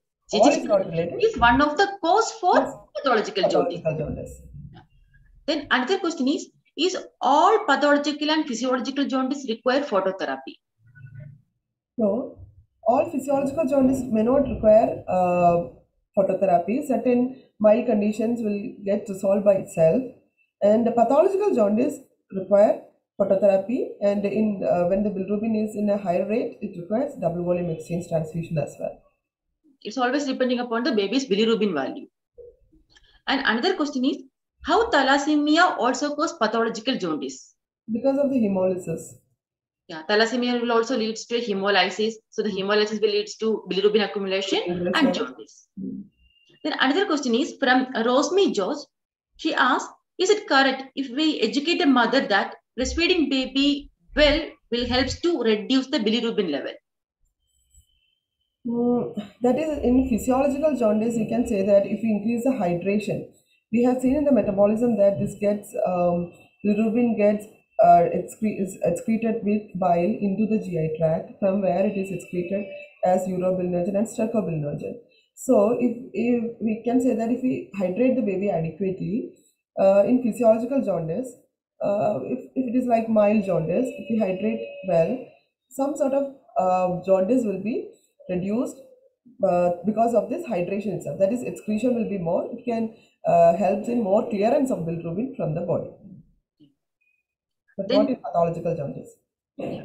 One more question is there. Question from Indira. Is there any complication after physiological jaundice when the kids grows up? Physiological jaundice do not have that much complications. Uh, we have seen the difference between physiological jaundice and pathological jaundice also. Uh, pathological jaundice have more complications as compared to uh, physiological jaundice. Yeah. Physiological jaundice most, most often does not lead to any of the complications. And another question from uh, Talancho Chennai Tamil. They're asking, is it necessary to switch uh, switch on the white bulbs throughout the course of phototherapy? Uh, that's a good question, something which I missed in the discussion. Uh, in certain uh, uh, phototherapy units, there may be white lights and blue lights. Actually, this white light is for examining the baby. Blue light is the light which helps in bilirubin oxidation and this uh, convert, reducing the bilirubin level in baby. Because we have, I have discussed that bilirubin absorbs only the light which is in the blue-green spectrum. White light is used for examining the baby. When the baby is getting phototherapy, we can switch off the blue light and use the white light to examine the baby. So ideally, we have to go for the blue spectrum light for the phototherapy purpose. Then another question is, if mother refuses to uh, give phototherapy to her baby, what is the other treatment option for the condition? Phototherapy, uh, if mother refuses, we should uh, educate the mother about the uh, necessity of the treatment. That is the only option. We cannot uh, switch to another thing. Yeah, phototherapy is the main course of treatment for this condition. If the mother refuses, we have to educate the mother regarding the importance. Otherwise, what will happen? The bilirubin will accumulate and can lead to further complications like kernicterus and all. Then it may require further uh, treatment like exchange transfusion and all. So we try to educate the mother regarding the importance of phototherapy for uh, as a treatment condition. So there is no uh, no other doubts from the participants. So thank you, Anu ma'am, for the for your wonderful session. Thank you so much. Thank you. Thank you. So uh, now we are moving to our next session. Our next session is on neonatal seizures. We have Alfie with us to discuss about neonatal seizures. She is working as nursing officer in AIIMS New Delhi. She did her undergraduate and post-graduation in uh, pediatric nursing, and she has more than seven years of experience in the area of pediatrics. I welcome Alfie on behalf of ISECN. Over to Alfie. all. So these two hours has been uh, very informative. Now I welcome you all to my session that is on neonatal seizures. So I would like to share, share my screen.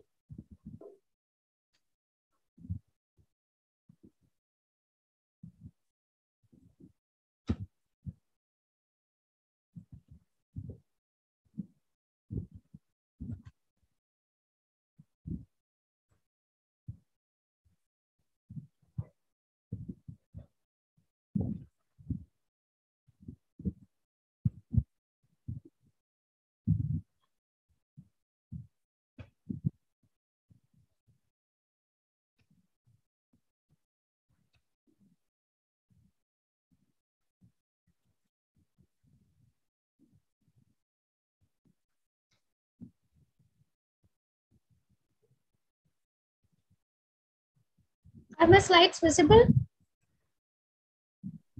Yes, it's visible. Okay.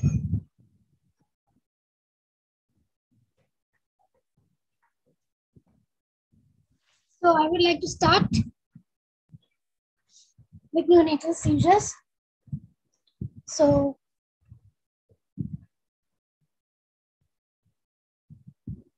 coming to the objectives, after at the end of the session, we will be able to understand the classification, pathophysiology, evaluation, management option, and in the professional training strategies for improving the care of newborn with seizures. So as an introduction, seizure constitute the most common neurological emergency in neonates and they have a significant impact on neonatal mortality as well as morbidities with adverse neurological outcome. So we don't want that. That is why it is important to identify at the early age. So by definition, what is seizure? It is defined as a clinically as occurrence of sudden paroxysmal abnormal alteration of neurological function that is motor behavior or autonomic function at any point from birth to the end of the neonatal period. So during neonatal period, any occurrence of sudden paroxysmal abnormal alteration the neurological function, it is termed as seizures. So it is subclassified into three types and it is epileptic seizures, non-epileptic seizures or, and EEG seizures. So in epileptic seizures, there will be seizure activity corresponding with the EEG changes. And in non-epileptic seizures, there will be seizure activity, but there won't be any corresponding EEG correlate. And in EEG seizures, there will be no clinical seizure present, but EEG changes will be there. So coming to the epidemiology, according to the NNPD database, there is 10.3 per thousand live birth uh, occurrence of seizures. Then according to a recent study which was done in March 2022 uh, in low and middle income countries shows 36 to 90 per thousand live birth. And the incidence was found to increase with decreasing gestation. That is lower the gestation, uh, higher the incidence. That was 20 to 20.8 per thousand live birth according to NNPD. Then very low birth weight unit also had fourfold more higher incidence uh, than the than the uh, uh, normal babies, and that was 36.1 per thousand live birth. Now coming to the etiological factors, there are five major factors which is uh, uh, which is there, and one first one is hypoxic condition such as HIE and perinatal asphyxia or birth asphyxia. As ma'am, Jessie ma'am has already covered asphyxia, we know that due to asphyxia, neonatal seizure can happen. So hypoxic ischemic encephalopathy, it constitutes for more than 50% of neonatal seizure that occurs. And it, in this, seizure start within 12 to 24 hours of life. Then second one, second etiological factor is metabolic disturbances such as hypoglycemia or hypocalcemia, which is the most common uh, metabolic disturbance. Then other thing, other uh, metabolic disturbances, disturbances such as hypomagnesemia, hyponatremia, hypernatremia, all can be there. Then third one is intracranial hemorrhage, which includes intraventricular hemorrhage or intraparenchymal hemorrhage, subarachnoid hemorrhage or subdural hemorrhage. And in, intra, uh, in cases of hemorrhage, uh, seizure is usually noted between the second and seventh day of life. Then fourth one is infection. Infection due to bacterial meningitis, viral encephalitis, or any intrauterine infection which was present during maternal antenatal period that also can lead to seizure, neonatal seizure. Then other factors such as inborn error of metabolism, as we all know, then thrombotic causes, thromboembolic causes due to infarctions in the brain, and any congenital brain malformation, which all can lead to uh, these neonatal seizures. Now I'm coining these terms such as 12 to 24 hours of life and second and seventh day of life. is because we can actually uh, have a diagnosis based on the day of life, like what can be the cause. And we can give, give the management. Now coming to the prevalence, as we have seen, and I've said already that more than 50% of cases, sorry, more than 50% of uh, uh, cause is due to HIE. Then second major cause is infection. And the third one is metabolic disorders. Rest all, it falls in lower percentage when compared to all three. So HIE is something which should be prevented and should be ruled out at the earliest. Now coming to the classification. This classification is basically uh, based on the clinical manifestation, how the seizure is manifested. So we have, according to the uh, clinical manifestation, class it is classified into a neonatal seizure is classified into four types: subtle seizures, clonic seizures, tonic seizures, myoclonic seizures. I will go one by one. Subtle seizures subtle as the name suggests it is very subtle because it is the manifestation is very mild and it is often missed because manifestation is that mild. But it constitutes the most. That is 50% of all seizures in neonates is mostly subtle. And it is missed. So uh, and what are the manifestation? How it is manifested? It is basically ocular movements uh, will be there. That is cycled fluttering or staring and uh, movements can be there. Orofacial lingual movements such as chewing, tongue thrusting, lip smacking can be there. Then limb movements such as cycling, paddling, or boxing kind of movement will be there. Then autonomic phenomena such as tachycardia or bradycardia and apnea. So all these can present, uh, like all these movements are there, but doesn't present uh, to like all symptoms won't be there. Only one any one of this can be there. Like if, if uh, there will be either cycle fluttering or staring or chewing or thrusting or lips, lips smacking.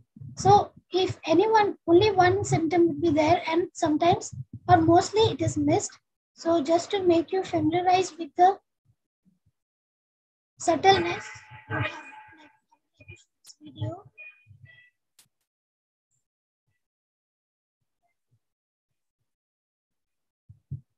As we can see, lips packing movements, yes, sucking movement is there along with apnea.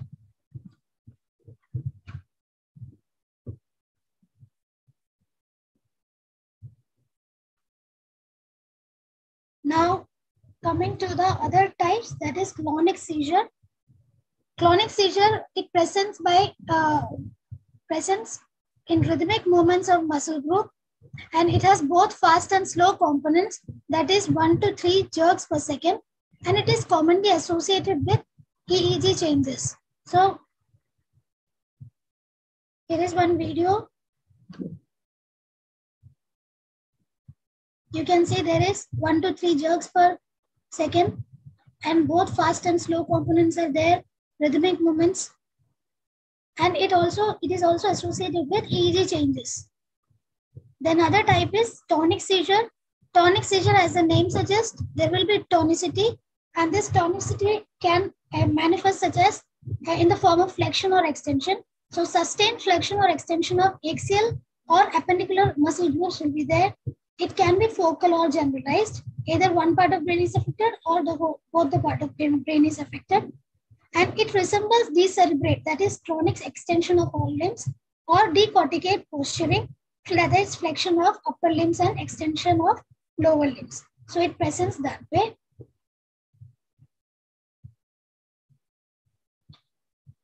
Now, the fourth type that is myoclonic seizures. These seizures manifest as single or multiple lightning fast jerks of the upper or lower limbs. So we have seen that in clonic seizure also, these jerks are there, but it differentiate based on the speed. So there will be rapid speed of myoclonic jerks and there will be absence of slow return. And it is a predilection for the flexor muscle group. That, that the flexor group of muscle, it is it has more affinity towards this in this kind of uh, seizures. Then EEG changes will be there and uh, that is shown by burst suppression pattern and focal sharp waves and his hypsarrhythmias. What is his hypsarrhythmia? It is abnormal interictal high amplitude waves and a background of irregular spikes as I've shown here. Like uh, it has fo focal sharp waves and irregular spikes. So this is myoclonic seizures. As you can see, there are rapid lightning, jerks, of movements of upper and lower limbs, as we can see. It is different from the clonic seizures. So over with the classification. Now before uh, management of uh, any or before coining the baby as having seizures, we have to first differentiate it between the uh, jitteriness. We have to differentiate with the jitterness. So uh, the difference between convulsion and jitterness is uh, termed, termed in this uh, slide. So convulsion is, it has both fast and slow components. Slow movements will be there and fast components will be there. And it is provoked by, uh, it's not provoked by any kind of stimulation. And it does not stop with passive restraint. If we restrain the body part, then uh, like it does not stop there. The neurological examination often show abnormal EEG changes and it is often associated with eye movements such as tonic deviation or fixed stare and autonomic changes. That is changes in heart rate and drop in saturation. Whereas in jitteriness, jitteriness has fast movement that is 4 to 6 per second and tremors are of equal amplitude. It is provoked by stimulation such as light or noise or hunger and it usually stops with restraint. If you restrain that particular body uh, part which is having tremors, it will stop there. Then the neurological examination, it usually is normal and it is not associated with any eye movement or any autonomic changes. And uh, as we can see in this video, we can see there is jitteriness of this uh, and it has of, it is of equal amplitude and if we restrain it, it stops.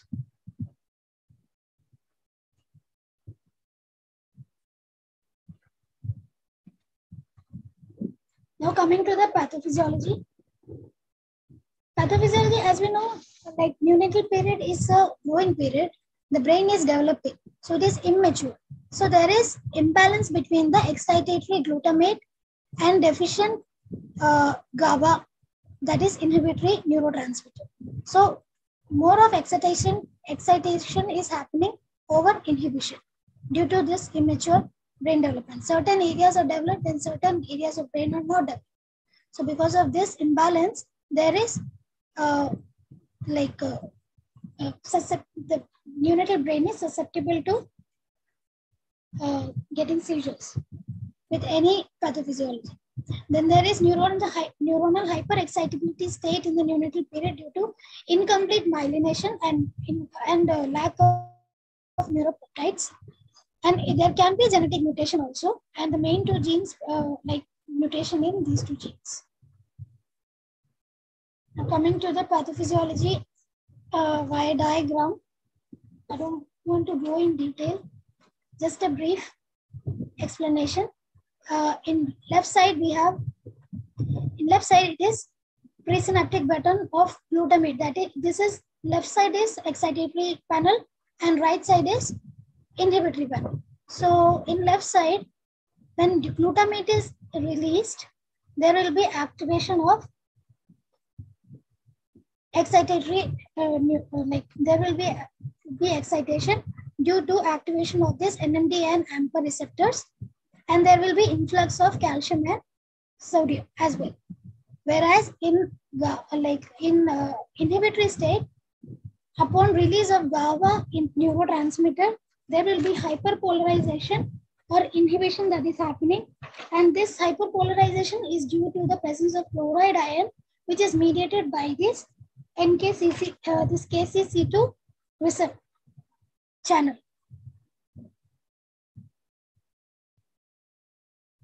So this too happens in the postsynaptic neuron and thereby creating a balance between the excitation and inhibition in the mature, uh, mature brain.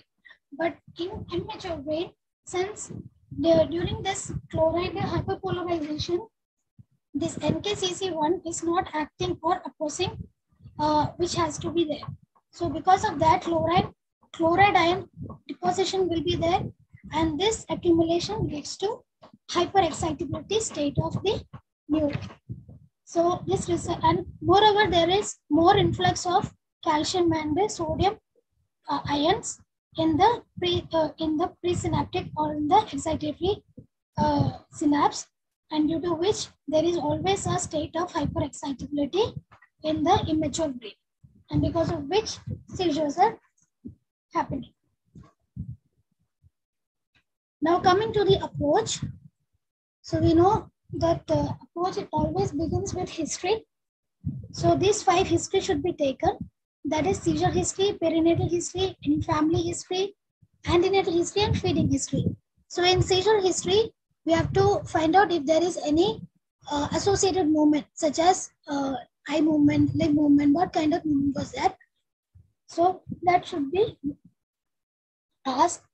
And uh, if restraint was uh, like uh, applied then was the like uh, convulsion or jitterness was it stopping or not? That should be asked. If the baby was awake or asleep during the seizures then if they, they have any record of that particular event then also we have to ask for the day of life at on which day the seizure has happened. Exactly. Then second history is perinatal history which includes uh, if there was any fetal distress during uh, intrapartum period and the Apgar score when the baby was born, if there was any need for resuscitation or any instrument or assisted delivery was the, performed or not, because we know the due to instrumentation and all, birth injury uh, can can be there or uh, hemorrhage can be there. Then we have to, if there was asphyxia, then we have to know about the cord pH. If it was less than seven, and base deficit uh, was more than 10 milliequivalent per day. DL was like uh, that in case of severe birth asphyxia. So severe birth asphyxia, we know it can lead to neonatal seizures. Then family history and uh, pertaining to family history, we have to know if there was any consanguinity in marriage was there or not, or uh, if there is any uh, like uh, history of early neonatal death in the family, or seizures, or any family member is having seizures or not, that we have to ask. Then in antenatal history, we have to uh, check for any intrauterine infection, or if the mother had hypothermia during the third trimester or not. Then maternal di diabetes, as we know, with maternal diabetes, there is uh, macrosomia, which can lead to, uh, which can in, in turn lead to difficult delivery. So that can lead to trauma, which can ultimately lead to seizures. Then addiction, addiction to narcotics. If it was there, then it can also lead to seizures. Then feeding history. So if the baby had lethargy or vomiting or drowsiness after drowsiness after initiation of breastfeeding, it was it all suggests inborn error of metabolism. So if inborn error of metabolism is there, then seizure is a predictable outcome. Then second approach is by examination. So examination, as we know, we have to check for vital signs, temperature, heart rate, respiratory rate, BP and CFT. Temperature because hyperpyrexia can lead to seizure uh, and hypothermia also can lead to seizure. Then uh, changes in heart rate, respiratory rate, BP, hypo, BP and CFT because hypoperfusion also leads to seizures. Then general examination, period of gestation has to be find out, has to be taken. Uh, then uh, birth weight and weight for age. It should be ruled out because we know, uh, as we have discussed in incidence low birth weight uh, lead like higher higher incidence of neonatal seizure was there in case of low birth weight. Then any dysmorphism, if it is present or not, then jitteriness also we have to look for it. Then in CNS examination, we have to see for the tone. Tone uh, appropriate to period of gestation, if, uh, if it is there or not. Then in fundus examination, we have to rule out chorioretinitis and uh, which suggests maternal infection. Then bulging fontanelle, because we know bulging fontanelle is, is one of the sign of uh, meningitis. Then in systemic examination, we have to check for hepatosplenomegaly uh, and urine order, then hypopigmented spot or ash leaf spot, all suggest inborn error of metabolism and jaundice or kernicterus. Then third approach is via investigations and investigation is classified into essential investigation and additional in investigations. Essential investigation has to be done in all neonate with the presenting with seizures. So as soon as the baby is presenting a seizure, blood sugar and blood sodium and calcium has to be sent for any to rule out any hypoglycemia or hypocalcemia uh, sequel. Then CSF examination should be done then cranial ultrasound in order to rule out any uh, hemorrhage. It should be done. Then EEG or amplitude integrated EEG should be done in all neonatal seizures in order to identify what kind of seizure it is. And if it is seizure, then if it is uh, associated with any EEG changes in order to predict the outcome of the baby or prognosis of the baby. Then in additional investigation, hematocrit uh, should, should be uh, done in order to, uh, in case of plethoric or at-risk polycythemia, as we know, uh, in these two conditions, there will be hypoperfusion and which, which can lead to seizures.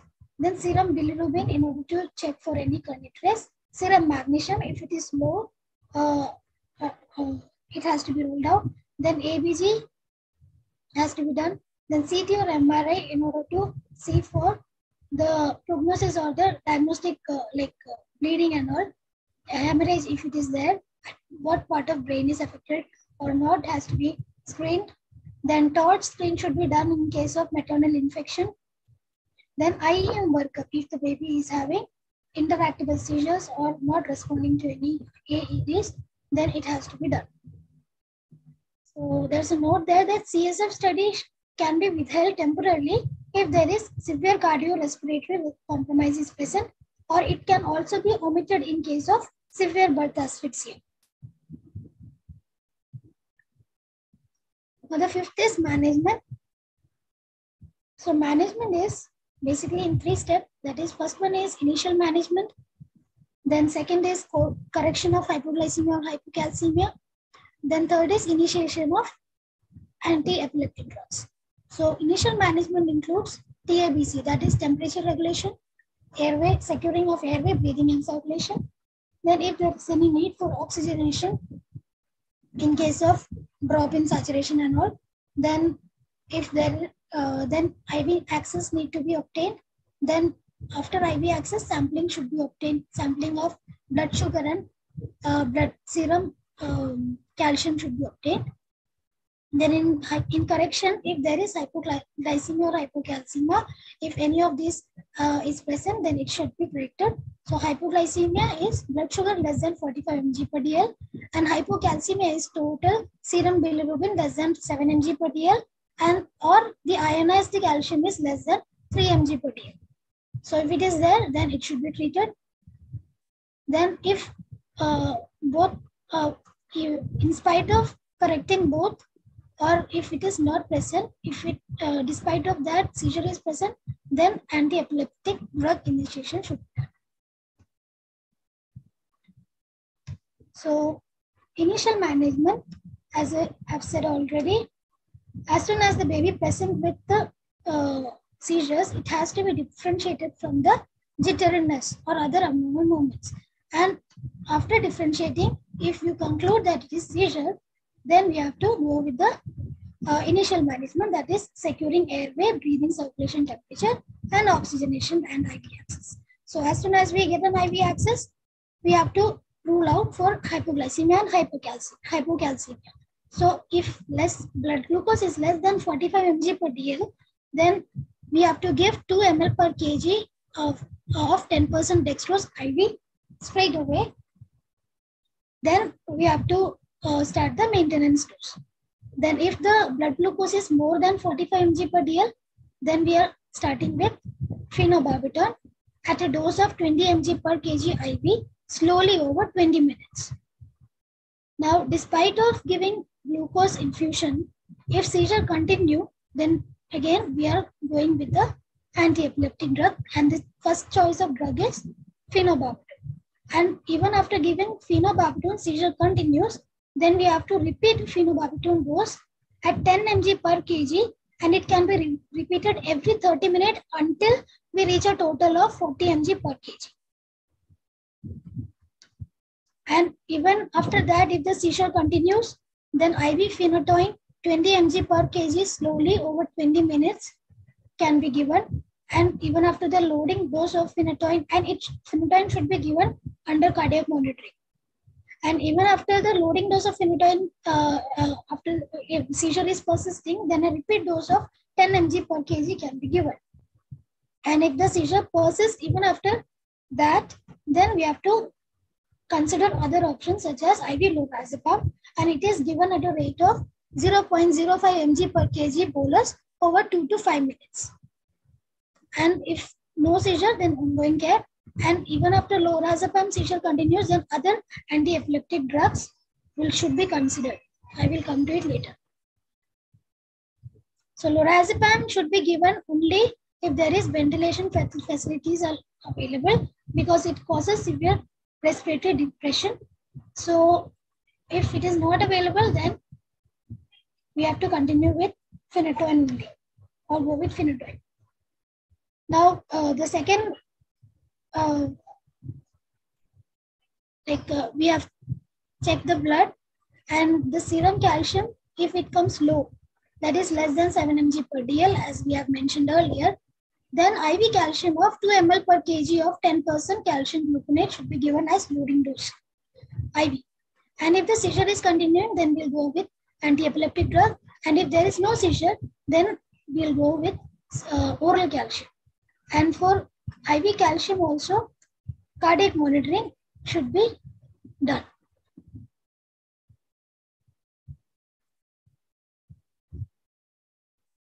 Now coming, uh, coming to hypoglycemia, as I've already mentioned, 2 ml per kg of 10% dextrose as bolus in, uh, injection and a continuous infusion of 6 to 8 mg per kg per minute as maintenance should be given. And in hypoglycemia, 2 ml per kg of 10% calcium gluconate IV over 10 minutes under strict cardiac monitoring should be given. And then a maintenance dose of 1 to 2 ml per kg dose every 6 to 8 hourly should be given. If we have ruled out both uh, hypoglycemia and uh, hypocalcemia, and despite of uh, ruling out both the cause, if still seizure persists, then we are going with the anti-epileptic drugs. So phenobarbital, it is a drug of choice and it should not exceed more than 1 mg per kg per minute. And the maintenance dose of phenobarbital is 3 to 5 mg per kg per day in 1 to 2 divided doses. And it is started 12 hours after the loading dose. After giving the loading dose, after 12 hours, we have to go with the maintenance dose. Then second uh, drug is phenytoin. Like if phenobarbital is not working, or if there is any adverse effect with the phenobarbital, then the second drug of choice is phenytoin. And this phenytoin is given uh, a loading dose we have already discussed. Maintenance doses 3 to 5 mg per kg per day. Maximum of 8 mg per kg per day in 2 to 4 divided doses is considered. And this also should not go beyond 1 mg per kg per minute of infusion. And if uh, and phenytoin is given uh, like if, if it is available, then it should be preferred over phenytoin because it has less side effects. So phenytoin equivalence, uh, so it is, it comes as a, uh, it is calculated uh, on the basis of phenytoin equivalence that is 1.5 mg per kg of fosphenytoin is equivalent to 1 mg per kg of, uh, of phenytoin. So the calculation is based on this equivalent. Now say other uh, drug of choice is lorazepam. Lorazepam only given in facilities where uh, mechanical ventilation is available. So it is given as a dose of 0.05 mg per kg IV bolus over 2 to 5 minutes. Should be given slowly and should be given under monitoring. Then if uh, lorazepam or midazolam, it can be give, given midazolam at 0.015 mg per kg IV bolus followed by an infusion of 0.1 to 0.4 mg per kg per hour in case of like if uh, other drugs are not working. Now, other drugs, other advanced drugs are lidocaine, uh, with then paraldehyde, and lidocaine should not be administered with phenytoin. It is given as a dose of 4 mg per kg and uh, followed by an infusion of 2 mg per kg per hour and it has an adverse effect of arrhythmia, hypotension, and seizures. So it, all these drugs should be given under cardiac monitoring. Paraldehyde is given as IM or per rectal route. It also has adverse effect of pulmonary hemorrhage, pulmonary edema, hypotension, and liver injury. So the, while giving these drugs, serum bilirubin, serum uh, electrolyte level should be checked. Then sodium valproate. The dose is uh, 20 to 25 mg per kg per day, followed by 5 to 10 mg per kg uh, every 12 hours per rectal or IV. It is considered. Then vigabatrin, uh, that is 50 mg per kg per day, and it is used in unit with infantile spasm. That is another type of seizures. And that infantile spasm can lead to epilepsy in the later stages of life. So that is more serious condition. And it is very rare. Then topiramate. Topiramate is uh, 3 mg per kg dose may we continue. Then pyridoxine. Pyridoxine is uh, given in, in uh, pyridoxine dependent epilepsy, which is an inborn error of metabolism. Uh, and which has problem with vitamin 6 uh, vitamin B6 metabolism. So it is given as IM route. So the pharmacokinetics kinetics or the pharmaco pharmacology, like where it acts. So barbiturates or phenobarbital it acts on the uh, this channel and stops the and uh, it in like uh, activates the GABA uh, that is inhibitory transmitter, neurotransmitter, thereby reducing the seizure or thereby we get a seizure control. Then coming to the weaning of AED, that is uh, after the seizure is controlled or resolved with this anti-epileptic drug, this anti-epileptic drug should be weaned because it has a lot of adverse outcome when it comes to uh, the pathophysiology, like path pharmacokinetics. It will affect the liver, it will affect the other systemic organs. So it should be continued as soon as possible. So the flowchart discontinued is if the baby is on anticonvulsant therapy, then all like, drugs should be weaned except for phenobarbital one seizure is controlled. Then uh, neuro neurological examination prior to discharge should be performed. And if it is normal, then phenobarbital can be stopped straight away. And if it is abnormal, then phenobarbital is continued for one month at maintenance dose. Then uh, after one month, repeat neurological examination is done. And if it is normal, then we have to taper other drugs, taper the drugs over two weeks. And if it is abnormal, then EEG should be evaluated. And if it is normally EEG, then we have to taper the drugs over two weeks. Then abnormal EEG is there, then uh, continue the drug for three months and reassess after three months. And after, like after initial management itself, the seizure has stopped. Then start maintenance, and we have started with the uh, maintenance dose of 5 mg per kg per hourly. Then we have to monitor for recurrence of any seizures. And if there is no clinical seizures in the next 72 hours, then if controlled by phenobarbital, only phenobarbital is was given during that time, then stop without tapering the doses. And if it was controlled by more than one drug, then stop the drugs one by one and phenobarbital should be stopped at the last. Then if uh, recurrence of seizure was is present, then we have to treat uh, with another, other uh, anti-epileptic drugs.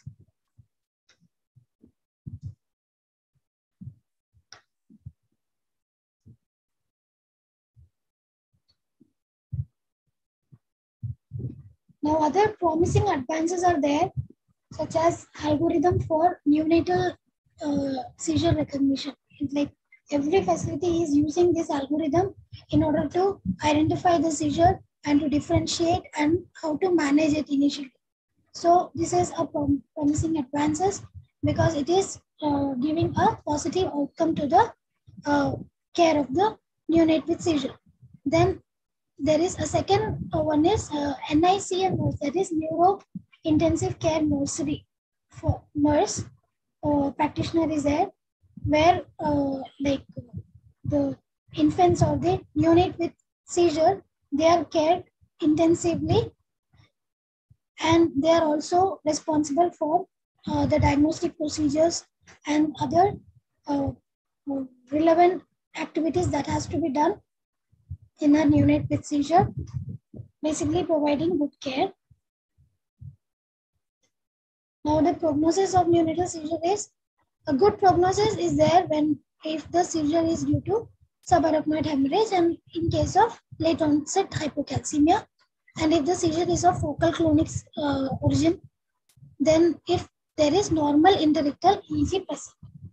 Then intermediate prognosis, if in case of uh, the seizure is due to ECNS infection or hypoxic ischemia. Then poor prognosis if the seizure is due to hypoglycemia, that is in the early stages of life, early, early hour of life. If hypocalcemia uh, was there, then the prognosis is poor. Then there will, if there is cerebral malformation and meningitis, then if the seizure is of myoclonic origin, if there is intractable seizures present, and if the EEG uh, waves shows burst suppression, uh, suppression or persistent low voltage EEG, then the prognosis is poor. Then in case of persisting neurological abnormalities on clinical examination, that is also the, the outcome is poor. And in case of very low birth weight and if the POG is less, that also prognosis has shown to be poor. Now coming to the nursing assessment, that is history. Exam history, as I already said in the approach, like all this history has to be taken. Then examination of the newborn pertaining to what kind of seizure is there, what kind of movements the baby is presenting with. It has to be examined along with other comorbidities, if it is present or not. Then recognize when the infant is having seizure so that the therapeutic therapy can be instituted as fast as possible. Then we have to observe the res uh, response to the therapy and any further evidence of seizure of any other symptomology. It should be ruled Then nursing diagnosis such as decreased intracranial adaptive capacity related to compression of brain tissue due to intra increased intracranial pressure resulting in brain injury, risk for ineffective uh, tissue perfusion related to ICP alteration, risk for injury related to altered level of consciousness, weakness or loss of mental muscle coordination. It can lead to injury, so it has to be prevented. Then delayed growth and development related to preterm birth and prolonged NICU stay. Disturbed sensory perception related to presence of neurological lesion. Then risk of infection related to surgical intervention, imbalanced nutrition, less than body requirement due to vomiting or other feeding issues. So in nursing intervention, emergency care and observation during seizure should be performed. And first aid measures such as uh, safety measures should be taken and also first line uh, drug of choice should be uh, kept ready. Then if the baby is having seizure, then we have to uh, make sure that the baby is uh, lying on flat surface. There is no injury, like uh, risk of fall. Then we have to loosen the tight floor, remove dangerous object from the area.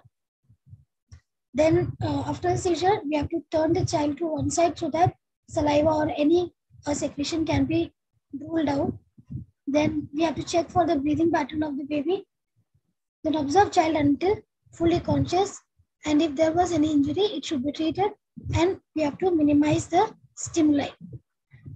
We have to also observe for the infant behavior. And we have to interpret that behavior to the parents so that they will know that what kind, uh, they will know that baby is having seizures and they will uh, identify the, the degree of extent uh, of uh, problem that is happening in the child. And it will, and we have to ensure the thermo-neutral environment, monitor for any adverse effect due to AEDs by repeated monitoring and also by repeated uh, having a check on the electrolyte levels. Then recording or reporting of the seizure events should be notified to physician in the same time and right time, maintaining the required nutritional whether it is parenteral or enteral, hydration should be maintained.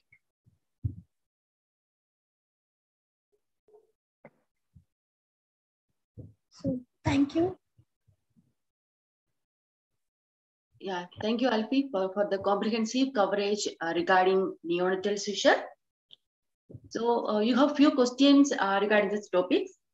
First question is, why babies with meconium aspiration syndrome are more prone to develop seizures? uh, in meconium aspiration syndrome, in meconium aspiration syndrome, as we see, there, there will be concurrent respiratory distress will be there. And because of hypoxia or anoxia to the brain tissues, seizure is. Yeah, the main cause is uh, hypoxia, which is occurring to the brain tissue. And another question is, what is the difference between seizure, epilepsy, and convulsion? Seizure, epilepsy, and convulsion. Uh, epilepsy is a broader term, while seizures is the clinical manifestation that the baby is showing. We can term it as seizure. And convulsion is uh, more or less same with the seizures only. Uh, so epilepsy is a broader term. Yeah, seizure is mainly the electrical disturbance which is occurring in the brain and the muscle twitching and the movements which is occurring is termed as seizure and the recurrent seizure is termed as convulsions. So with this, we came to the end of this uh, neonatal session and we are moving to our last session that is on neonatal sepsis. So we have Divyama with us. She is currently pursuing her PhD from Karlstad University, Sweden. She did her master's in pediatric nursing from All India Institute of Medical Sciences, New Delhi. And currently she is pursuing PhD and also working as lecturer in Department of Health at Karlstad University, Sweden. I welcome you, ma'am, on behalf of ISECN. Over to you, ma'am. Thank you, Ambali.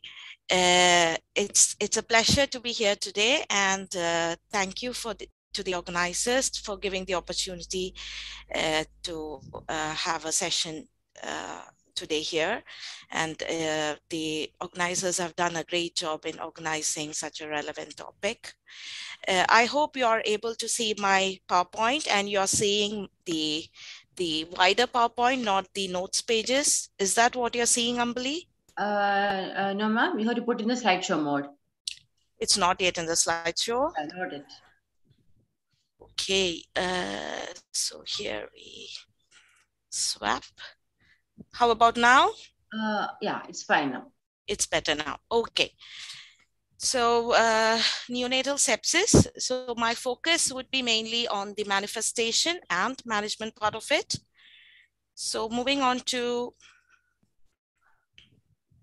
the definition.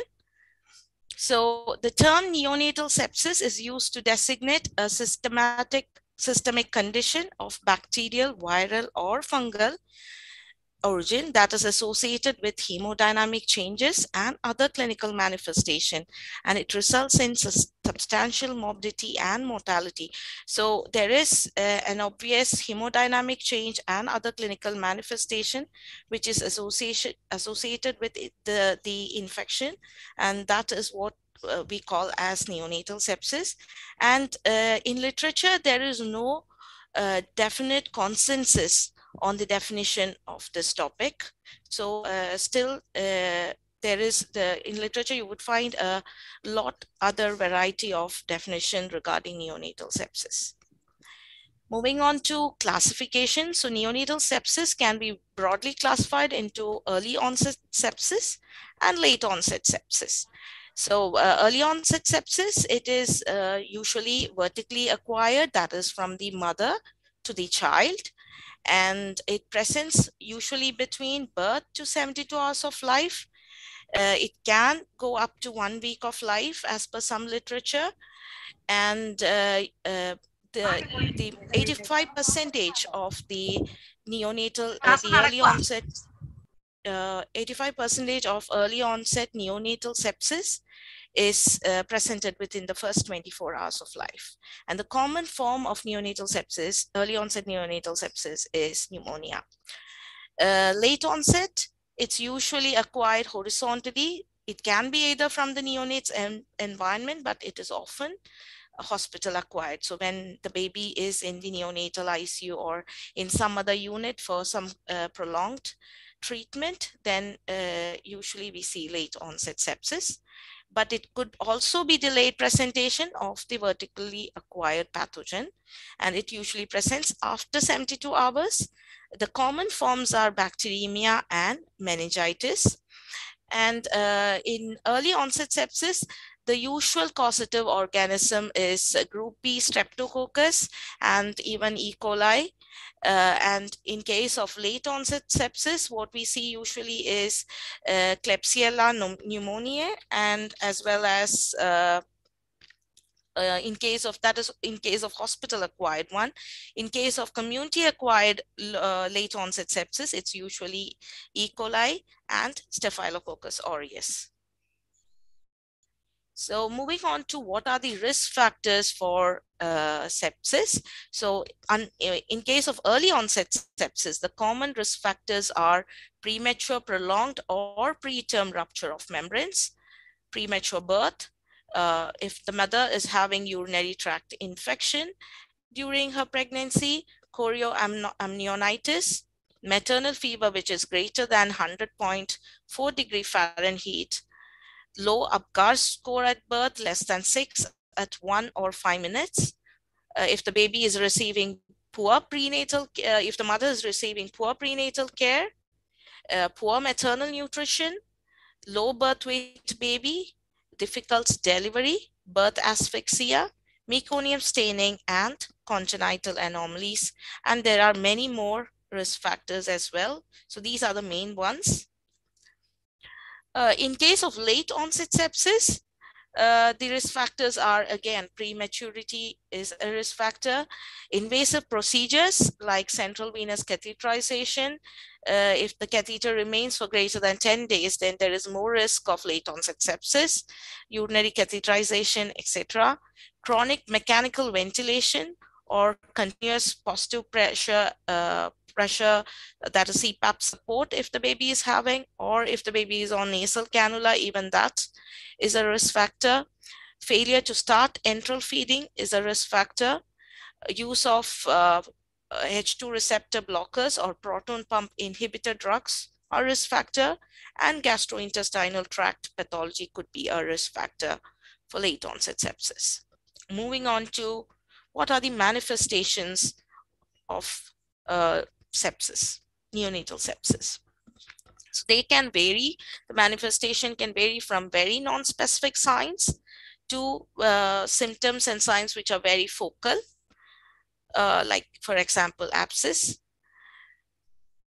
There could be vital signs derangement. Uh, the baby could present uh, in as hypothermia or even fever. So usually it is the preterm babies who present in it as hypothermia and in term babies, we often see fever. Cardiac manifestations could be there like tachycardia or bradycardia, signs of poor perfusion, uh, like cool and pale extremities, hypotension, a rapid thready pulse and uh, edema respiratory symptoms, which is the most common form of uh, neonatal sepsis manifestation. We see grunting, nasal flare flaring, uh, chest retractions, cyanosis, tachypnea or irregular respiration, and episodes of apnea. Neurological manifestations could be irritability, lethargy, tremors, seizures, irregular respiration, high-pitched cry, hypotonia, hypoactive deep tendon reflexes, and abnormal primitive reflexes. There could be gastrointestinal manifestations like decreased feeding, vomiting, diarrhea, jaundice, abdominal distension, and hepatosplenomegaly. Metabolic uh, could be presented as in the form of having hypoglycemia, baby could present with hyperglycemia, metabolic acidosis, and jaundice. Or the baby can present in the form of oliguria, having oliguria, and also in the skin, there could be manifestations like petechiae, impetigo, cellulitis, and abscess. Moving on to what are the diagnostic tests. So uh, usually uh, a complete blood cell count as well as differential count is done the C-reactive protein levels and other infection markers are uh, looked for. And the gold standard remains culture of blood, urine swab, and cerebrospinal fluid samples. Also, uh, we can do PCR and other quantitative real-time amplification systems like uh, qPCR. So uh, it's widely used nowadays uh, because culture will take time it needs up to 48 hours to show if there is growth of organism, whereas PCR and qPCR are faster and we would get to know if there is the uh, uh, DNA of the organism present. So the so the diagnosis uh, is a little more quicker if we use PCR or qPCR. And with qPCR, the amount of sample blood sample required is also much lesser. So it's much more easier in that way. Uh, imaging can also be used like chest radiography to evaluate if there is any pulmonary involvement. Uh, computed tomography or magnetic resonance imaging can be used if we are suspecting meningitis and also ultrasonography if uh, there is uh, we are suspecting uh, um, any uh, infections in the uh, gastrointestinal tract. Moving on to uh, management. So in the medical management, for sepsis, usually we, in case of uh, clinical, strong clinical suspicion and uh, uh, signs and symptoms, we start off usually with empiric therapy of antibiotics. So usually it is a combination of beta-lactam aminopenicillin and an aminoglycoside which is started. In case the baby is not, uh, in case the blood culture results are negative and the baby doesn't show any more uh, signs and symptoms of sepsis, then the uh, antibiotic is discontinued within 36 to 48 hours. Um, um, I, I work in Sweden and here in Sweden, what we usually use uh, as an empiric therapy is benzyl penicillin in case of early onset sepsis along with tobramycin. And if it is a late onset sepsis, then we use cef along with uh, tobramycin again uh, directed therapy. So once we have the, uh, once we know what organism uh, is is in the blood culture or in other sample cultures, and if we when we have the sensitivity of the pathogen, then we can go for pathogen directed antibiotic therapy. So it would be definitely be based on antibiotic sensitivity, and uh, the antibiotic therapy can also vary based on sites of infection moving on to uh, other um, medical management measures. So we can also use certain adjunctive therapy like granulocyte transfusions, granulocyte macrophage colony stimulating factors, granul uh, and as well as intravenous immunoglobulin.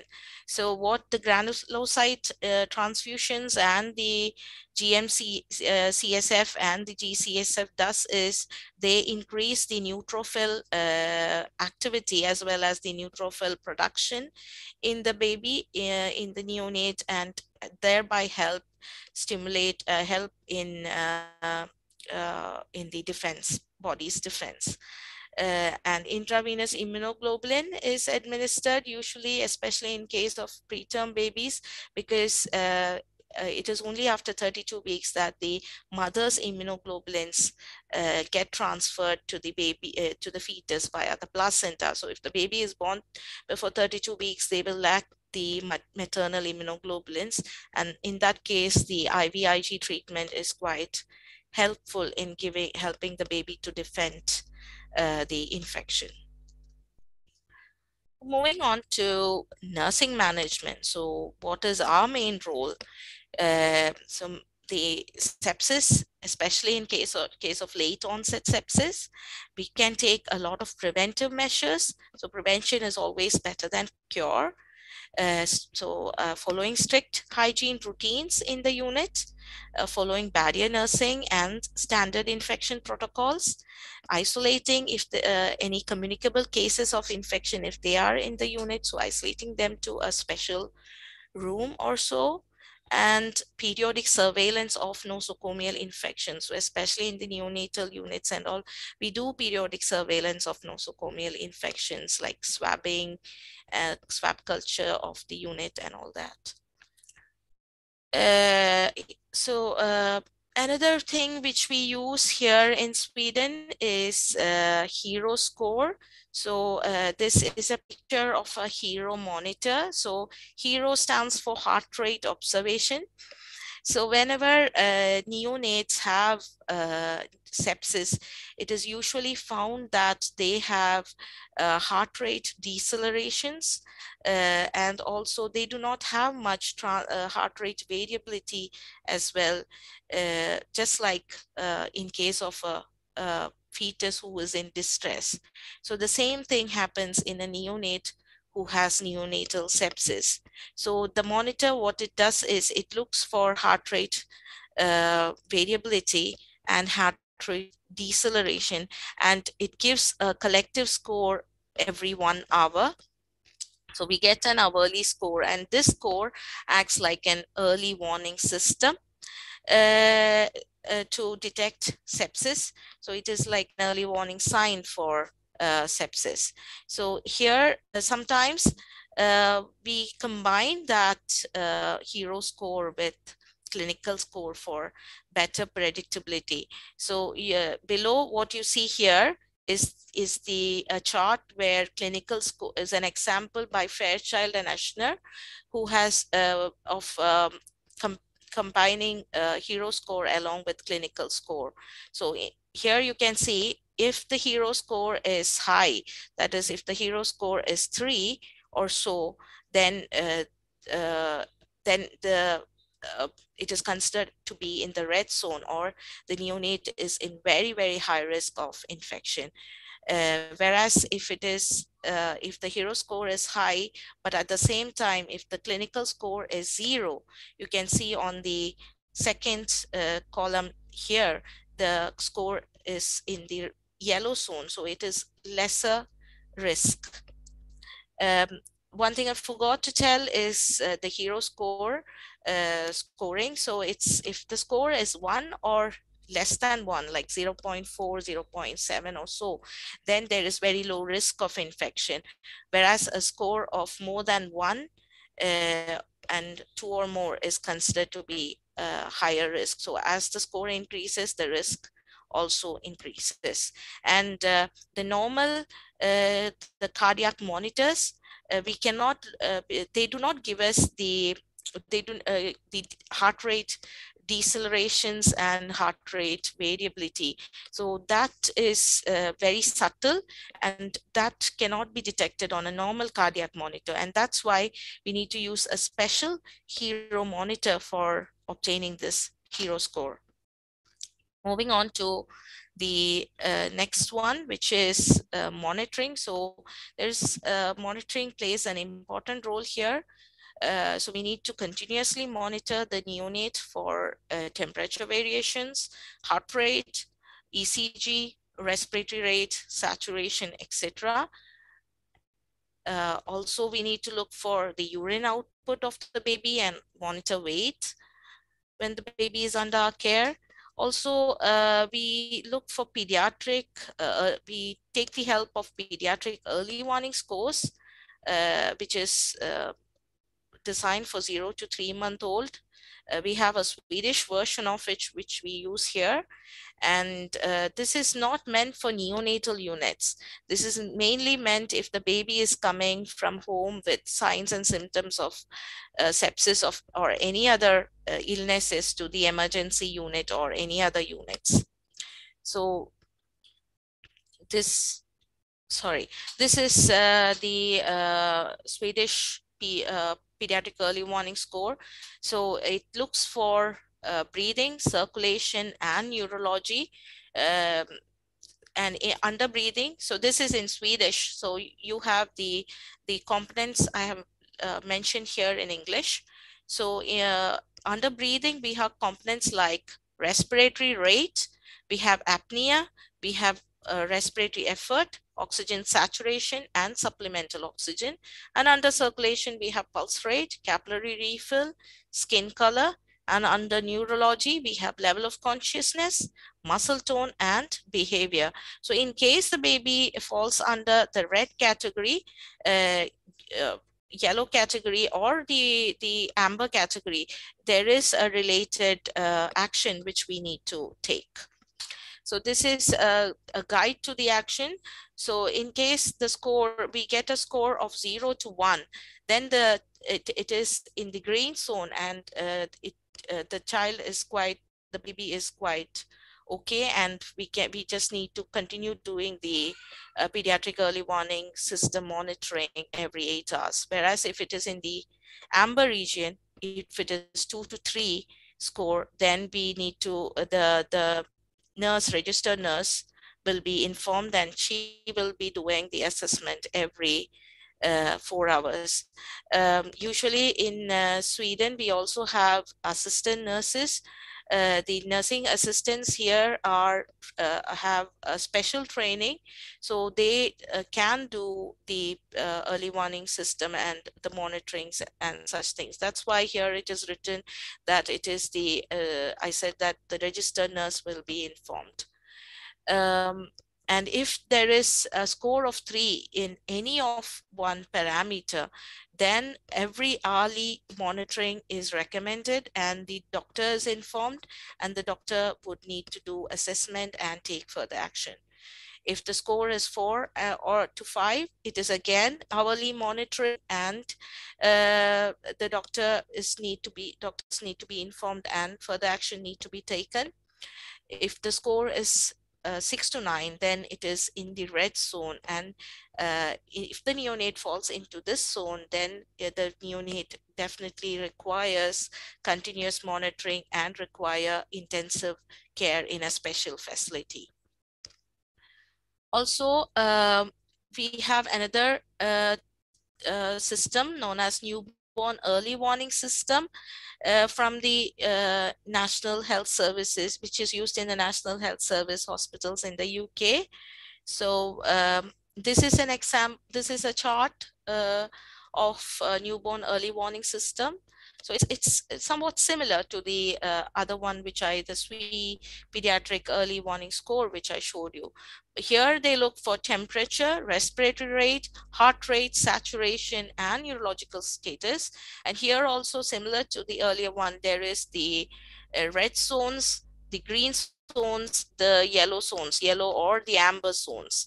So if the baby falls into the, if the uh, if the measurements of the neonate is in the green zone, then we just need to continue observation and we do not need to take any action. Whereas if it if there is one observation in the amber or yellow zone, then the doctor and the nurse practitioner, the neonatal nurse advanced nurse practitioner is informed and the observations are repeated every 30 minutes. If there is two or more observations in the amber or yellow category, then immediately the doctor is called or the and the uh, neonatal nurse practitioner is called for urgent medical review. Uh, again, if there is one or more observation in the red zone, then uh, it's the same, the immediate review by the doctor and neonatal nurse practitioner is being requested. Um, and uh, this, this is a description of when we need to do observations as per the neonatal newborn early warning system. So if the if there is a premature rupture of membrane greater than 18 hours in the mother, maternal group B streptococcal infections, significant meconium, light meconium, or if there are some other reasons, then uh, the, uh, the physician uh, can recommend uh, the nurses to do the newborn early warning uh, system observations. And uh, if it is recommended, uh, recommended if it is asked to be done then it is observed for the first 12 hours of age. And uh, the observations are performed at one and two hours of age and after that every two hours until the neonate is 12 hours old. And if there is no further uh, observations requested then it is not uh, required Uh, other uh, measures, we need to uh, maintain strict aseptic measures, like I had said in the preventive part as well. So barrier nursing and standard precautions have to be maintained while caring for a neonate with neonatal sepsis.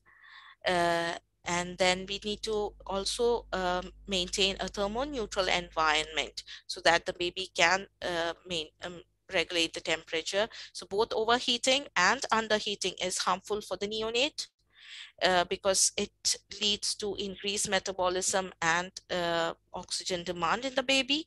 And uh, we can uh, use radiant warmer or incubator or kangaroo mother care and cl or clothing and blankets as per the unit in uh, in which the baby is. And one thing to be uh, looked into is to warm all objects before it comes into contact with the neonate.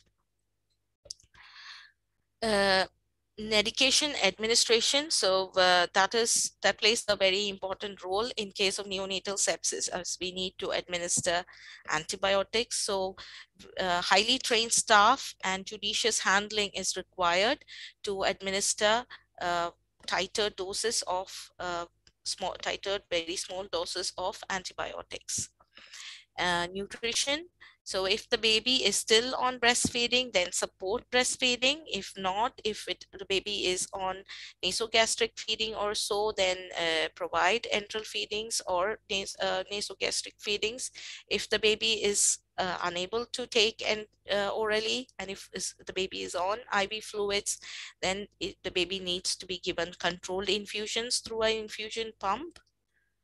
Uh, other important areas are uh, facilitating parent-infant relationship. So when the baby is having a neonatal sepsis and if the baby is sick, then the baby will be cared for, care, uh, cared for in the intensive care neonatal unit. And in that case, there is always a separation between the parent and the infant, which is going to happen. So as much as possible, we need to facilitate parent-infant relationship through kangaroo mother care, if possible, through breastfeeding, etc. Uh, parental education and support by us is also very important because parents could be very stressed and anxious during this time. So uh, we need to support and educate them. And uh, new, newborn individualized development care and assessment program uh, NIDCAP. So the uh, NIDCAP way of caring is recommended in case of preterm neonates who are uh, in the neonatal units. So this way of caring is, uh, it is not required for a term infant, but for a preterm infant. And uh, we practice it a lot here in Sweden. Uh, it is because uh, the preterm infant's brain is not fully developed and uh, is uh, exposed to a lot of uh, additional stimulus like light, touch, pain, etc. in the neonatal ICU uh, when the baby had to be in the mother's uterus without any such excessive stimulation. So to promote optimal cognitive growth of the new and developmental growth of the neonate's brain, this uh, method has been formulated. So what uh, we do is in NIDCAP way of caring, the baby is cared, uh, baby while we uh, do any kind of procedures like feeding or blood collection or anything, the baby is observed in a formalized way uh, for any signs of uh, irritability or uh, withdrawal from that particular uh, procedure or stimulus. And if it is there, uh, we try to adjust the environment and the stimuli around the baby uh, so that it is the, the, baby can have less stimulation. And it is quite individualized because uh, some procedures like feeding maybe the baby is withdrawing because it is untimely. So uh, maybe that particular neonate requires a little more adjustment in timing. So it's something which we do in our NICUs as well but it is it's just that the same thing has been a little more uh, formalized and structured and put forth uh, so that we are more aware of it and we, we take a little more care about it. Uh, so to conclude, uh, we need to focus a lot on preventive measure in order to uh, prevent neonatal sepsis, especially the late onset neonatal sepsis. And if there is a proper prenatal care, then early onset neonatal sepsis can also be prevented to some extent. Uh, we need to adapt our nursing care uh, for babies based on the baby's individual needs. And also, uh, if a baby with neonatal sepsis is admitted, we need to as far as possible, encourage parent-child bonding. Thank you. Yeah, thank you, Divya ma'am, for the wonderful uh, coverage of this topic. It was really nice to hear from you. Thank you, Ambali. So this was the last scientific session of today's webinar. So I just would like to uh, remind the participants that the post post test link is available in the comment box, not in the chat box. So kindly fill the post test to get the certificate. You should score minimum 23 out of 30 to get the certificate. If you are not able to get 23 in the first attempt, you can do the test again. And if you successfully complete the post test, you will get the certificate within two weeks. And I hope I will see you all in the next webinar, which is on 24th of April. So with this, we came to the end of today's webinar. And I would like to thank all our dignitaries, Dr. Poonam Joshi ma'am, Dr. Mini George ma'am, for their presence, support, and spending their valuable time with us despite of their busy schedule. And I would like to thank our resource persons, Ms. Jessie ma'am, Alfie ma'am, Anu ma'am, and Divya ma'am uh, for being with us and to cover all the important aspects of neonatal emergencies despite of their busy, hectic working schedule. And I would like to extend my heartfelt thanks to Indian Society of Emergency and Cardiac Nurses Academic Council for giving me an opportunity to moderate this webinar. My heartfelt thanks to Fami sir, Shaukat sir, Matthew sir, Jessel sir, Sajin sir, and each and everyone in the Academic Council for helping me behind the screen for the successful completion of this webinar. Last but not the least, I would like to thank all the participants who participated actively in this webinar. Without them, this program could not be successful. And I apologize for not sticking to the time. And also, if I left out anyone, I, I apologize for that. And I express my heartfelt thanks to one and all for being with us during this journey. Thank you.